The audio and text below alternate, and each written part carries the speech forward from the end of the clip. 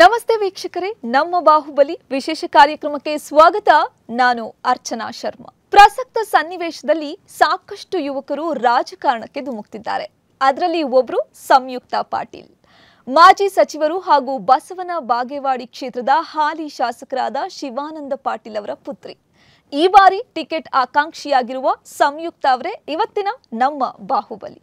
ನಮಸ್ತೆ ಕಾರ್ಯಕ್ರಮಕ್ಕೆ ಸ್ವಾಗತ. ಥ್ಯಾಂಕ್ ಯು ನಮಸ್ತೆ. ಸೊ ಯಂಗ್ಸ್ಟರ್ಸ್ ಒಬ್ರು ಎಜುಕೇಟೆಡ್ ಪಾಲಿಟಿಕ್ಸ್ಗೆ ಬರ್ತಿದ್ದಾರೆ ಅನ್ನೋದೇ ಬಹಳ ಖುಷಿಯಾಗಿರುವಂಥ ವಿಚಾರ. ಸೊ ಸಂಯುಕ್ತ ಅವ್ರಿಗೆ ಬ್ಲಡ್ ಅಲ್ಲೇ ಇದೆ ರಾಜಕಾರಣ. ತಂದೆ ಉತ್ತರ ಕರ್ನಾಟಕದ ವೆಲ್ ನೋನ್ ಪೊಲಿಟಿಷಿಯನ್ ಶಾಸಕರಾಗಿ ಸಚಿವರಾಗಿ ಸೇವೆ ಸಲ್ಲಿಸಿದ್ದಾರೆ. ಸೊ ಸಂಯುಕ್ತ ಅವರೇ ಹೇಳಿ ನಿಮಗೆ ಯಾಕೆ ಪಾಲಿಟಿಕ್ಸ್ ಯಾಕೆ ಬರಬೇಕು ಅಂತ ಅಂದ್ಕೊಂಡ್ರಿ? ಆ್ಯಕ್ಚುಲಿ ನಾನು ತುಂಬ ಚಿಕ್ಕವಳಾಗಿದ್ದಾಗಿಂದ ನನಗೆ ಪಾಲಿಟಿಕ್ಸ್ ಬರಬೇಕು ಅಂತ ಆಸೆ ಇತ್ತು. ಯಾಕಂತಂದರೆ ನಾನು ಜನ ನೋಡ್ತಾ ಇದ್ದೆ ಅಲ್ಲಿರುವಂತಹ ಲೈಕ್ ಪಾಲಿಟಿಷಿಯನ್ಸ್ಗೆ ಆ್ಯಕ್ಟರ್ಸ್ ಥರ ಒಂದು ಒಂದು ಪ್ರೀತಿ ಸಿಗುತ್ತೆ ಜನರಿಂದ. ಸೊ ಅದನ್ನ ನಾನು ಬಹಳ ಚಿಕ್ಕವಳಿದ್ದಾಗಿಂದ ನೋಡ್ತಾ ಇದ್ದೆ. ನನಗೆ ಅನಿಸ್ತಾ ಇತ್ತು ನಾನು ಹಂಡ್ರೆಡ್ ಪರ್ಸೆಂಟ್ ಪಾಲಿಟಿಷಿಯನ್ ಆಗ್ತೀನಿ ದೊಡ್ಡವಳಾದಮೇಲೆ ನಾನು ಪಾಲಿಟಿಷಿಯನ್ ಆಗಲೇಬೇಕು ಅಂತ. ಆದರೆ ನಾನು ಲಾ ಸ್ಕೂಲಿಗೆ ಬಂದಮೇಲೆ ಎಲ್ಲ ಸ್ವಲ್ಪ ಚೇಂಜ್ ಆಗೋಯಿತು. ಐ ಸ್ಟಾರ್ಟೆಡ್ ಥಿಂಕಿಂಗ್ ಇಲ್ಲ ನನಗೆ ಜನಸೇವೆನೇ ಮಾಡೋದಿದ್ರೆ. ಅದರ ಇನ್ನೂ ಭಾಳ ಆಪ್ಷನ್ಸ್ ಇದೆ ನನಗೆ. ಮತ್ತು ಪಾಲಿಟಿಕ್ಸ್ ತುಂಬ ಹೈ ಸ್ಟ್ರೆಸ್ ಸಿಚುವೇಶನ್ ಅಲ್ಲಿ ಹೆಂಗೆ ಅಂದರೆ ನೀವು ಎಷ್ಟೇ ವರ್ಕ್ ಮಾಡಿದ್ರೂ ಕೂಡ ಗ್ಯಾರಂಟಿ ಇಲ್ಲ ರಿಸಲ್ಟು ಆದರೂ ಆಗ್ಬೋದು, ಆಗದೇ ಇದ್ರೂ ಇರ್ಬೋದು. ಸೊ ಅದಕ್ಕೆ ಐ ವಾಸ್ ಇಸ್ ಲೈಕ್ ತುಂಬ ಸ್ಟ್ರೆಸ್ಫುಲ್ ಇದೆ, ತುಂಬ ಇದಿದೆ. ನಾನು ಲಾ ಮಾಡ್ತೀನಿ. ಆ್ಯಸ್ ಅ ಪ್ರೊಫೆಷನ್ ನಾನು ಲಾನೇ ಚೂಸ್ ಮಾಡ್ತೀನಿ ಅಂತ ನಾನು ಡಿಸಿಷನ್ ತೊಗೊಂಡಿದ್ದೆ. ಆದರೆ ನಾನು ಲಾ ಸ್ಕೂಲ್ ಕಂಪ್ಲೀಟ್ ಮಾಡಿದ್ಮೇಲೆ ನಮ್ಮ ತಂದೆಯವರು, ಇಲ್ಲ, ನೀನು ವಾಪಸ್ ಬಿಜಾಪುರಿಗೆ ಬರಬೇಕು. ಅಟ್ಲೀಸ್ಟ್ ಇಲ್ಲಿ ಸ್ವಲ್ಪ ಆದರೂ ನೀನು ಕೆಲಸ ಮಾಡಬೇಕು. ನಿನಗಿಷ್ಟು ನಾನು ಎಜುಕೇಷನ್ ಕೊಟ್ಟು ಬೆಳೆಸಿದ್ದು ಎಲ್ಲ ಜನರಿಂದ. ಸೊ ಅದಕ್ಕೆ ನೀನು ಇಷ್ಟು ಎಜುಕೇಷನ್ ಪಡೆದಿದ್ಯಾ ಅಂತಂದರೆ, ನೀನು ಡಿಸ್ಟ್ರಿಕ್ಟಲ್ಲಿ ಏನಾದರೂ ಒಂದು ವರ್ಕ್ ಮಾಡು. ಸ್ವಲ್ಪ ದಿನ ನೀನು ಸರ್ವಿಸ್ ಮಾಡಿ, ಆಮೇಲೆ ನಿನಗೆ ಏನು ಇಷ್ಟ ಆಗುತ್ತೆ ಅದನ್ನು ಚೂಸ್ ಮಾಡು ಅಂತ ನನಗೆ ಆಪ್ಷನ್ ಕೊಟ್ಟರು ಸೊ ಆವಾಗ then I thought about it and ಆವಾಗ ನಾನು ಡಿಸಿಷನ್ ತೊಗೊಂಡಿದ್ದೇನು ಅಂತಂದರೆ, ಆಯಿತು ಬಿಜಾಪುರಲ್ಲಿ ಬಂದುಬಿಟ್ಟು ವರ್ಕ್ ಮಾಡೋಣ ಅಂತ. ಸೊ ನನಗೆ ಆವಾಗ I felt very selfish as like ಹೌದು, ನಾನು ಎಷ್ಟು ಸೆಲ್ಫಿಶ್ ಅದೀನಿ. ನಮ್ಮ ಪಪ್ಪ ಎಷ್ಟು ಚಲೋ ಯೋಚನೆ ಮಾಡಾಕತ್ತಾರ. ನಾನು ಅದೇ ಥರ ಯೋಚನೆ ಮಾಡಬೇಕು ಅಂತ ನಾನು ಇಲ್ಲಿ ಬಂದೆ. ಮೇಲೆ ನಮ್ಮ ಅಪ್ಪ ಅವ್ರು ಕೇಳಿದೆ ನಾನು, ಈ ಥರ ನಾನು ಕೆಲಸ ಮಾಡೋದು ಹೆಂಗೆ ಮಾಡೋದು. ದೆನ್ ಅವ್ರು ಹೇಳಿದ್ರು ಇಲ್ಲ ನೀವು ಹುಡುಕ್ಬೇಕು ನಿನಗೆ ಏನು ಕೆಲಸ ಮಾಡೋದು? ಅಂತ ಹೇಳಿದರು. Then I just like oh no ನಾನು ಲಾ ಕಂಪ್ಲೀಟ್ ಮಾಡಿದ್ಮೇಲೆ ನನಗೆ ಒಂದು ಫೆಲೋಶಿಪ್ ಮಾಡೋದಿತ್ತು ಕಂಬೋಡಿಯಲ್ಲಿ ಸೊ ಐ ಥಾಟ್ ನಾನು ಅಲ್ಲಿ ಹೋಗಿಬಿಟ್ಟು ಫೆಲೋಶಿಪ್ ಪರ್ಸ್ಯೂ ಮಾಡಿ ಏನಾದರೂ ಒಂದು ಇಂಟರ್ನ್ಯಾಷನಲ್ ಲಾ ನನ್ನ ಆನರ್ಸ್ ಇರೋದು international law and public international law ಅಲ್ಲಿ. ಸೊ ಅದನ್ನ ಮಾಡ್ತೀನಿ ಅಂತ ನಾನು ಅಂದ್ಕೊಂಡಿದ್ದೆ ಸೊ ಆವಾಗ ನನಗೆ ಅನಿಸ್ತು ಅಂತಂದರೆ ಏನೂ ಇಲ್ಲಪ್ಪ ಅವಾಗ ಜಾಬೇ ಇಲ್ಲ ಅಂತ ಅಂದಾಗ I met a bunch of like retired employees ಅವರೊಂದು ಫೌಂಡೇಶನ್ ನಡೆಸ್ತಾ ಇದ್ರು ಸ್ಪರ್ಶ ಫೌಂಡೇಶನ್ ಅಂತ. ಅಲ್ಲಿ ಅವರು ಹಳ್ಳಿ ಹೆಣ್ಮಕ್ಳ ಜೊತೆ ಕೆಲಸ ಮಾಡ್ತಾಯಿದ್ರು ಆರ್ಥಿಕ ಸಬಲೀಕರಣದಗೋಸ್ಕರ. ಸೊ ಅವಾಗ ಅವ್ರ ಜೊತೆ ನಾನು ಕೆಲಸ ಮಾಡೋಕ್ಕೆ ಸ್ಟಾರ್ಟ್ ಮಾಡಿದ್ಮೇಲೆ ನಾನು ಹೆಣ್ಮಕ್ಳಿಗೆ ಜಾಸ್ತಿ ಪರಿಚಯ ಆದೆ. ಸುಮಾರು ಒಂದು ಲಕ್ಷದ ಅರವತ್ತು ಸಾವಿರ ಹೆಣ್ಮಕ್ಳಿಗೆ ನಾವು ಇದು ಬಿಜಾಪುರ ಜಿಲ್ಲೆಯಲ್ಲಿ ಅವರಿಗೆ ಫೈನಾನ್ಷಿಯಲ್ ಹೆಲ್ಪ್ ಮಾಡ್ತೀವಿ. ಅಂದರೆ ಫೈನಾನ್ಷಿಯಲ್ ಫೈನಾನ್ಷಿಯಲಿ ಗ್ರೋ ಆಗೋಕ್ಕೆ ಹೆಲ್ಪ್ ಮಾಡ್ತೀವಿ. ಸೊ ಅವಾಗ ನನಗೆ ಅನಿಸ್ತಾ ಇತ್ತು ನಾನು ಹೆಣ್ಮಕ್ಳ ಜೊತೆ ಕೆಲಸ ಮಾಡೋದು, ಅವ್ರ ಜೊತೆ ಇರೋದು ಅದರಿಂದ ನಾನು ಇಂಟ್ರಾಕ್ಷನ್ ಜಾಸ್ತಿ ಬೆಳೆದಿರೋದ್ರಿಂದ ಒನ್ ಒನ್ ಆ್ಯಂಡ್ ಹಾಫ್ ಇಯರಲ್ಲಿ ನಮ್ಮ ತಂದೆಯವ್ರ ಎಲೆಕ್ಷನ್ ಬಂತು ಆವಾಗ ಓಕೆ ಸೊ ನಾನು ಎಲೆಕ್ಷನಲ್ಲಿ ಪಾರ್ಟಿಸಿಪೇಟ್ ಮಾಡಿದೆ. ಆವಾಗ ನಾನು ಅಧಿಕೃತವಾಗಿ ರಾಜಕಾರಣ ಎಂಟ್ರ್ ಆಗಿದ್ದು. It was just a matter of luck ನಾನು ಹೆಣ್ಮಕ್ಳ ಜೊತೆ ತುಂಬ ಜಾಸ್ತಿ ಕೆಲಸ ಮಾಡಿದ್ದೆ ಆ ಟೈಮಲ್ಲಿ ಪಾಲಿಟ್ ಎಲೆಕ್ಷನ್ ಬಂತು. ಸೊ ನನಗೆ ಅವ್ರ ಜೊತೆ ಕೆಲಸ ಮಾಡಿದ್ದು ಅವ್ರ ಜೊತೆ ಟಚ್ ಇದ್ದಿದ್ದು ಅದೆಲ್ಲನೂ ನನಗೆ ಪಾಲಿಟಿಕ್ಸಿಗೆ ಹೆಲ್ಪ್ ಆಯಿತು. ಸೊ ಅವಾಗ ಅಧಿಕೃತವಾಗಿ ನಾನು ಪಾಲಿಟಿಕ್ಸಿಗೆ ಬಂದೆ. ಇವಾಗ ಪಾಲಿಟಿಕ್ಸಲ್ಲಿ ಬಿಡೋದು ಆಪ್ಷನ್ ಇಲ್ಲ ನನಗೆ. ಯಾಕಂತಂದರೆ I am too deep into it so ಆ ಪಾಲಿಟಿಕ್ಸಿಗೆ ನಾನು ಚಿಕ್ಕವಳಿದ್ದಾಗಿಂದ ಬರಬೇಕು ಅಂದ್ಕೊಂಡಿದ್ದು ನಿಜ. ಆದರೆ ನಾನು ದೊಡ್ಡೋಳಾದಮೇಲೆ I wanted to do something else like ನನಗೆ ಲಾ ಮಾಡೋದು ತುಂಬ ಇಂಟ್ರೆಸ್ಟ್ ಇತ್ತು because I thought I'd be a really good lawyer and I really enjoyed law ನಾನು ತುಂಬ ಇಷ್ಟದಿಂದ ಲಾ ಮಾಡಿದ್ದು. ಸೊ ಅದಕ್ಕೆ ಐ ಥಾಟ್ ಇಲ್ಲ, ಪಕ್ಕಾ ಲಾಯರ್ ಆಗ್ತೀನಿ ಅಂತ ಅಂದ್ಕೊಂಡಿದ್ದೆ ಆದರೆ by luck I came to politics ultimately ನಾನು ಏನು ಚಿಕ್ಕವಳಿದ್ದಾಗ ಯೋಚನೆ ಮಾಡಿದ್ದೆ ಅದಕ್ಕೆ ಅದಕ್ಕೆ ಬಂದಿದ್ದು ವಾಪಸ್. ಯೂಶಲಿ ಚಿಕ್ಕ ಮಕ್ಕಳಿದ್ದಾಗ ಮಕ್ಕಳನ್ನ ನೀನು ದೊಡ್ಡವರಾದ್ಮೇಲೆ ಏನಾಗಬೇಕು ಅಂತ ಅನ್ಕೊಂಡಿದ್ಯಾ ಅಂತ ಕೇಳಿದ್ರೆ ಡಾಕ್ಟರ್ ಪೊಲೀಸ್ ಇಂಜಿನಿಯರ್ ಏನಾದರೂ ಒಂದು ಹೇಳ್ತಿರ್ತಾರೆ. ಬಟ್ ಸಂಯುಕ್ತ ಅವ್ರನ್ನ ಚಿಕ್ಕ ವಯಸ್ಸಲ್ಲಿ ಏನಾಗಬೇಕು ಅಂತಿದ್ಯಾ ಅಂತ ಕೇಳಿದ್ರೆ ರಾಷ್ಟ್ರಪತಿ ಆಗಬೇಕು ಅಂತ ಹೇಳ್ತಿದ್ರಂತೆ ಹೌದಾ? ಹೌದು ಆ್ಯಕ್ಚುಲಿ ನಾನು I think it was a laughing matter ಸ್ಕೂಲಲ್ಲಿ ಎಲ್ಲ ಮಕ್ಕಳಿಗೆಲ್ಲ ಕೇಳ್ತಾರೆ ಸೆಕೆಂಡ್ ಥರ್ಡ್ ಸ್ಟ್ಯಾಂಡರ್ಡಲ್ಲೆಲ್ಲ ನೀವೇನಾಗಬೇಕು. ಅಟ್ ಬಿ ಲೈಕ್ ನಾನು ಮ್ಯಾಮ್ ನಂಗೆ ಪ್ರೆಸಿಡೆಂಟ್ ಆಗಬೇಕು ಅನ್ನೋದು ಫಸ್ಟ್ ವುಮೆನ್ ಪ್ರೆಸಿಡೆಂಟ್ ಆಗೋ ಇನ್ನೂ ಅವಾಗ ಪ್ರತಿಭಾ ಪಾಟೀಲ್ ಅವ್ರು ಪ್ರೆಸಿಡೆಂಟ್ ಆಗಿರಲಿಲ್ಲ. ಸೊ ಅವಾಗ ಇಲ್ಲ ನಾನು first women president of India ಆಗಬೇಕು ಅಂತ ನನಗೆ ಅನಿಸ್ತಾ ಇತ್ತು ಆಮೇಲೆ ನಾನು ಸ್ವಲ್ಪ ಸ್ವಲ್ಪ ದೊಡ್ಡೋಳಾದ್ಮೇಲೆ ಸಿವಿಕ್ಸ್ ಓದ್ದೆ ನಾನು. ಸಿವಿಕ್ಸಲ್ಲಿ ಏನು ಗೊತ್ತಾಯಿತು ಅಂದರೆ president is not like he doesn't have the real authority real authority ಇರೋದು ಪ್ರೈಮ್ ಮಿನಿಸ್ಟರ್ಗೆ ಅಂತ. ಸೊ ಅವಾಗ ಜಸ್ಟ್ ಲೈಕ್ ಪ್ರೈಮ್ ಮಿನಿಸ್ಟರ್ ಆಗಬೇಕಾಗಿತ್ತು. ನಾನು ಯಾಕೆ ಪ್ರೆಸಿಡೆಂಟ್ ಆಗ್ತಾ ಇದ್ದೀನಿ ಅಂತ? I change my um so six ಸ್ಟ್ಯಾಂಡರ್ಡಿಂದ I wanted to become prime minister of India I had decided ಇಲ್ಲ ನಾನು ಪ್ರೈಮ್ ಮಿನಿಸ್ಟ್ರೇ ಆಗಬೇಕು ಅಂತ. ಅವಾಗ ಎಲ್ಲರೂ ಜಾಸ್ತಿ ನಗ್ತಾಯಿದ್ರು ಟೀಚರ್ಸು ಮತ್ತು ಸ್ಟೂಡೆಂಟ್ಸು ಯಾರಿಗಾದ್ರೂ ಹೇಳಿದ್ರೆ ಒಂಥರ ಲೈಕ್ ದೇಲ್ ಫೀಲ್ ಓ ಏನಿದೆ ಹಿಂಗೆ ಮಾತಾಡ್ತಾ ಇದ್ದಾಳೆ ಹುಡುಗಿ? ಅಂತ. ಆವಾಗ ಒಂದು ಸರಿ ಸ್ವಾಮೀಜಿ ಬಂದಿದ್ದರು ನಮ್ಮ ಮನೆಗೆ. ಅಲ್ಲಿ ಮುರುಘಾ ಮಠದ ಸ್ವಾಮಿಗಳು ಬಂದಾಗ ಅವ್ರು ಕೇಳಿದ್ರು ನೀನೇನು ಆಗ್ತೀಯ ಅಂತ? So I was just like ನಾನು ಪ್ರೈಮ್ ಮಿನಿಸ್ಟರ್ ಆಗಬೇಕು ಅಂದ್ಕೊಂಡಿದ್ದೀನಿ ಅಂದಾಗ ನಾನು ಫಸ್ಟ್ ರಾ ಒಂದು ಪಬ್ಲಿಕ್ ವೇದಿಕೆಯಲ್ಲಿ ಮಾತಾಡಿ ಮಾತಾಡಿದ್ದು ಸಿಕ್ಸ್ ಸ್ಟ್ಯಾಂಡರ್ಡಲ್ಲಿ ಅಲ್ಲಿ. ಒಂದು ಶರಣ ಸಾಹಿತ್ಯ ಉತ್ಸವ ಆಗುತ್ತೆ. ಆ ಮಕ್ಕಳ ಶರಣ ಸಾಹಿತ್ಯ ಉತ್ಸವಲ್ಲಿ ನಾನು ಫಸ್ಟ್ ಟೈಮ್ ಪಬ್ಲಿಕ್ ಸ್ಟೇಜಲ್ಲಿ ಮಾತಾಡಿದ್ದು. ಹೇಗಿತ್ತು ಸ್ಕೂಲ್ ಕಾಲೇಜ್ ಡೇಸ್ ಅಂತ? ಯಾವ ಥರ ಸಂಯುಕ್ತ ಅವರು ಎಲ್ಲದರಲ್ಲೂ ಪಾರ್ಟಿಸಿಪೇಟ್ ಮಾಡ್ತಿದ್ರಾ? ಸ್ಪೋರ್ಟ್ಸ್ ಅಲ್ಲಿದ್ರ? ಅಥವಾ ಅವಾಗಲೇ ಈ ಡಿಬೇಟ್ ಅಲ್ಲೆಲ್ಲ ಭಾಗವಹಿಸೋದು, ಈ ಥರದ್ದೆಲ್ಲ ಇತ್ತಾ? ಹೆಂಗೆ ಆಕ್ಟಿವ್ ಆಗಿದ್ರು ಸ್ಕೂಲ್ ಕಾಲೇಜ್ ಐ ಥಿಂಕ್ ನಾನು ಭಾಳ ಡೀಸೆಂಟ್ ಸ್ಟೂಡೆಂಟ್ ಇದೆ I wanted to be teacher's favourite ಯಾಕಂತಂದರೆ ನನಗೆ ಅವ್ರಿಗೆ ಇಂಪ್ರೆಸ್ ಮಾಡಬೇಕು, ಒಳ್ಳೆ ಮಾರ್ಕ್ಸ್ ತಗೋಬೇಕು. ಅಂಟಿಲ್ ಟೆಂತ್ ನನಗೆ ಅದು ಮಾರ್ಕ್ಸ್ದು ಇದು ಇರಲಿಲ್ಲ. Tenth I was like okay ಇಲ್ಲ, ನಾನು ಒಳ್ಳೆ ಮಾರ್ಕ್ಸ್ ತೆಗಿಬೇಕು ಅಂತ ಐ ರಿಯಲಿ ಸ್ಟಡಿಡ್ ಆದರೆ ಸ್ಪೋರ್ಟ್ಸಲ್ಲಿ ಐ ವಾಸ್ ಯೂಸ್ಲೆಸ್ ನಾನು ಏನೂ ಸ್ಪೋರ್ಟ್ಸ್ ಮಾಡೋಕ್ಕೆ ಬರಲ್ಲ. ನನಗೆ ಯಾವ ಸ್ಪೋರ್ಟ್ಸು ಬರಲ್ಲ ಆ್ಯಕ್ಚುಲಿ ಆದರೆ ಸ್ಟಡೀಸ್ ಮತ್ತು debates books reading and elocution competitions ಅದರಲ್ಲೆಲ್ಲ ಸ್ವಲ್ಪ ಭಾಗವಹಿಸ್ತಿದ್ದೆ. ಡಿಬೇಟಿಂಗಲ್ಲಿ ನಾನು ಜಾಸ್ತಿ ಭಾಗವಹಿಸೋಕ್ಕೆ ಸ್ಟಾರ್ಟ್ ಮಾಡಿದ್ದು from P U C so Christ ಯೂನಿವರ್ಸಿಟಿಯಲ್ಲಿ ಸಂಯುಕ್ತ ಅವರು ಎಲ್ ಎಲ್ ಬಿ ಕಂಪ್ಲೀಟ್ ಮಾಡ್ತಾರೆ. ಜೊತೆಗೆ ಸುಪ್ರೀಂ ಕೋರ್ಟ್ನ ಬಹಳ ಫೇಮಸ್ ಹಿರಿಯ ವಕೀಲರು ಆಗಿರುವಂತಹ ಮುಕುಲ್ ರೋಹಟಗಿ ಅವ್ರ ಜೊತೆ ನಿಮಗೆ ಲಾ ಪ್ರಾಕ್ಟೀಸ್ ಮಾಡುವಂತಹ ಅವಕಾಶ ಸಿಗುತ್ತೆ. ಸೊ ಹೇಗಿತ್ತು ಆ ಎಕ್ಸ್ಪೀರಿಯನ್ಸ್ ಅವ್ರ ಜೊತೆ ಕೆಲಸ ಮಾಡಿದ್ದು? ಯಾ ಸೊ ನಾನು ನನ್ನ third fourth year of law ಸ್ಕೂಲಲ್ಲಿದ್ದಾಗ I intern with Mukul Rohatgi.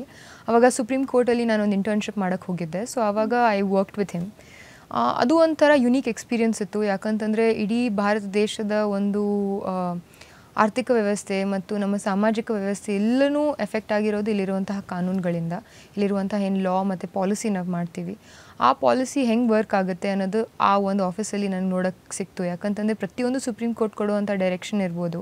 ಇಡೀ ಭಾರತ ದೇಶಕ್ಕೆ ಅದು ಒಂದು ನಮ್ಮ ಒಂದು ಸೋಷಲ್ ಪ್ಯಾಟರ್ನ್ ಮೇಲೆ ಅದಕ್ಕೆ ಎಫೆಕ್ಟ್ ಬೀಳುತ್ತೆ. ಸೊ ಅದಕ್ಕೆ ಆ ಒಂದು ಪ್ರೊಸೆಸ್ನ ಬಹಳ ಕ್ಲೋಸ್ಲಿ ಅಬ್ಸರ್ವ್ ಮಾಡೋಕ್ಕೆ ನನಗೆ ಅವಕಾಶ ಸಿಕ್ತು.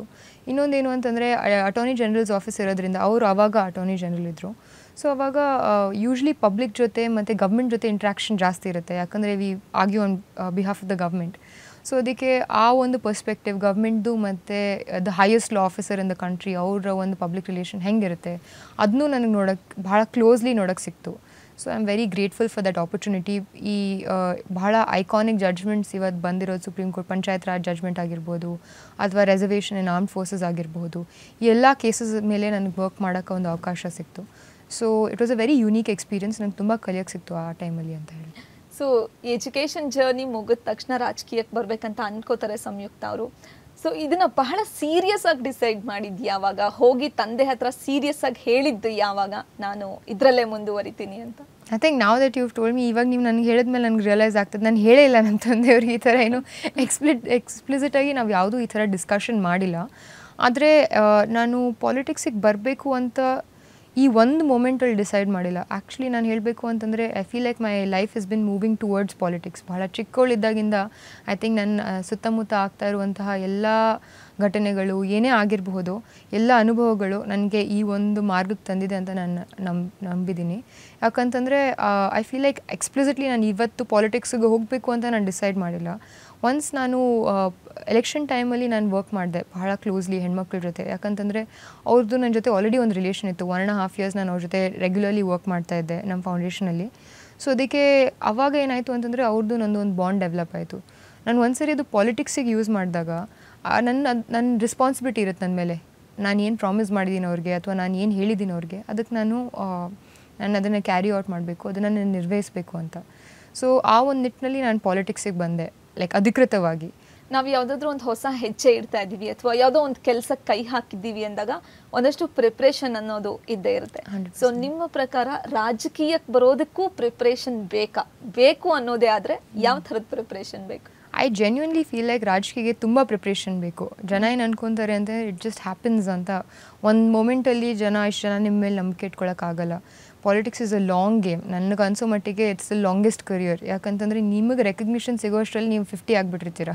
ಸೊ ಅದಕ್ಕೆ politics is a game of a lot of preparation politics preparation ಏನು ಅಂತ ಅಂದರೆ you have to do public service ನೀವು ಜನರ ಜೊತೆ ಕೆಲಸ ಮಾಡಬೇಕು. ನಿರಂತರವಾಗಿ ನೀವು ಜನರ ಸಂಪರ್ಕದಲ್ಲಿದ್ದು ಅವರ ಸಮಸ್ಯೆಗಳೇನು, ಅವ್ರಿಗೆ ಆಗ್ತಾ ಇರುವಂತಹ ಕಷ್ಟಗಳೇನು, ಅದನ್ನು ನಾವು ಹೆಂಗೆ ನಿವಾರಣೆ ಮಾಡ್ಬೋದು ಅಂತ ನೀವು ಯಾವಾಗ ಯೋಚನೆ ಮಾಡ್ತೀರಾ ಆವಾಗ ನೀವು ರಾಜಕೀಯಕ್ಕೆ ಮೊದಲನೇ ಹೆಜ್ಜೆ ಇಟ್ಟಂಗೆ ಅಂತ ನಾನು ಅಂದ್ಕೊಂಡಿದ್ದೀನಿ ಪಾಲಿಟಿಕ್ಸಿಗೆ ಎರಡು ಭಾಗ ಇದೆ. ಒಂದು ಪಬ್ಲಿಕ್ ಟಚ್ಚು ಮತ್ತು ಪಬ್ಲಿಕ್ ಜೊತೆ ಇರುವಂಥ ಅಂಡರ್ಸ್ಟ್ಯಾಂಡಿಂಗ್ ಇಮೋಷ್ನಲ್ ಪಾರ್ಟ್ ಮತ್ತು ಅವ್ರಿಗೆ ಕನ್ವಿನ್ಸ್ ಮಾಡೋದು ಒಂದು ಪಾರ್ಟ್ ಇದ್ದರೆ ಇನ್ನೊಂದು ಬಹಳ ಮುಖ್ಯವಾಗಿರುವಂತಹ ಪಾರ್ಟ್ ಏನು ಅಂತಂದರೆ how do you work the system ಇವಾಗ ಒಂದು ಸಿಸ್ಟಮ್ ಇದೆ. ಆ ಸಿಸ್ಟಮಿಂದ ನೀವು ಮ್ಯಾಕ್ಸಿಮಮ್ ಔಟ್ಪುಟ್ ಹೆಂಗೆ ತೆಗಿಬೇಕು?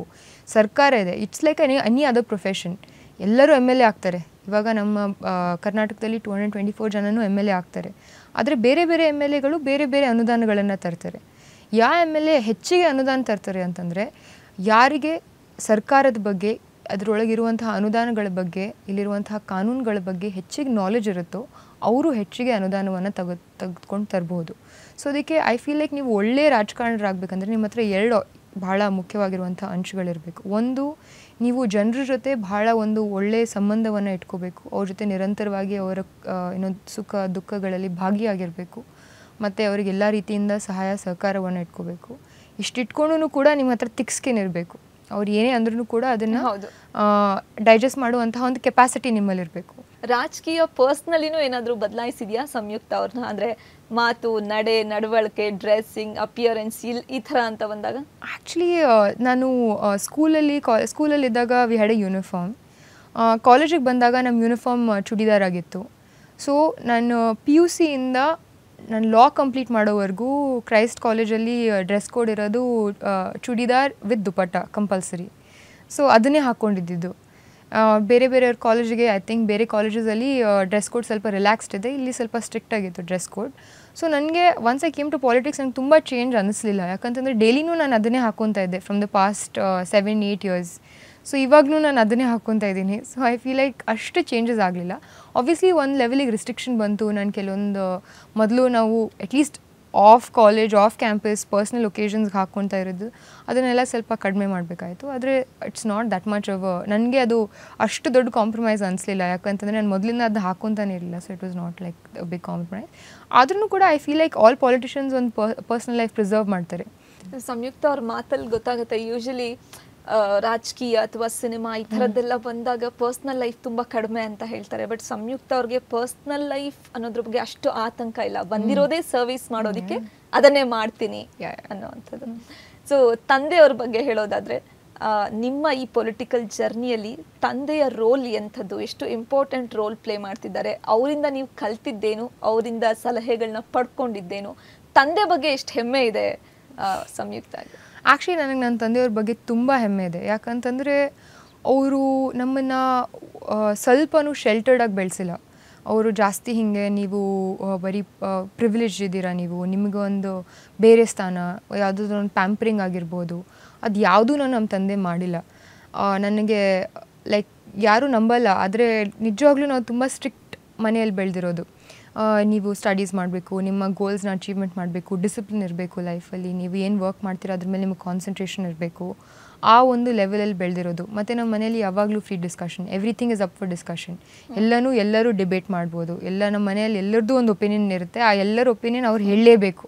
ಆ ಥರ ಮನೆ ನಮ್ಮದು ಸೊ ಎಲ್ಲರೂ ಸ್ಟ್ರಾಂಗ್ ಪರ್ಸ್ನಾಲಿಟೀಸ್ ಸೊ ಒಂದು ಫ್ರೀಡಮಲ್ಲಿ ಬೆಳೆಸಿದ್ದಾರೆ ಆದರೆ with a certain level of discipline ನಮ್ಮ ಮನೇಲಿ ಏನದ ಅಂತಂದರೆ first work comes first work is worship ಕಾಯಕವೇ ಕೈಲಾಸ ಅನ್ನೋ ಒಂದು ಸಿದ್ಧಾಂತದ ಮೇಲೆ ನಾವೆಲ್ಲರೂ ಇರಬೇಕು.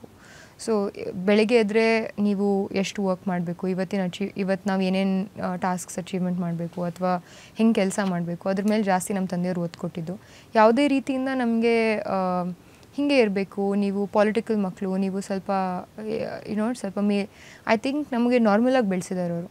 ನನ್ನ ಫ್ರೆಂಡ್ಸು ಫ್ರೆಂಡ್ ಸರ್ಕಲ್ ಇರೋದು ಎಲ್ಲ ಜಾಸ್ತಿ ನಾನ್ ಪೊಲಿಟಿಕಲ್ ಸರ್ಕಲ್ಸಲ್ಲಿ ಆ್ಯಂಡ್ ಅದರಿಂದ I feel like you get a different understanding like not to comment but like just political children ಅಂತ ಅಂದರೆ they come up with a certain level of I think air about themselves ಅದು ನಮಗೆ ಜಾಸ್ತಿ ಇಲ್ಲ. ಯಾಕಂತಂದರೆ ನಮ್ಮ ತಂದೆಯವರು ಮೊದಲಿಂದನೇ ನಮಗೆ ಯಾರು ಮೊದಲೇ ಮ ಬೇರೆಯವ್ರು ಮಾಡೋಕ್ಕಿಂತ ಮುಂಚೆ ಅವರೇ ನಮಗೆ ಬೈದ್ಬಿಟ್ಟಿದ್ದಾರೆ ಅಷ್ಟು.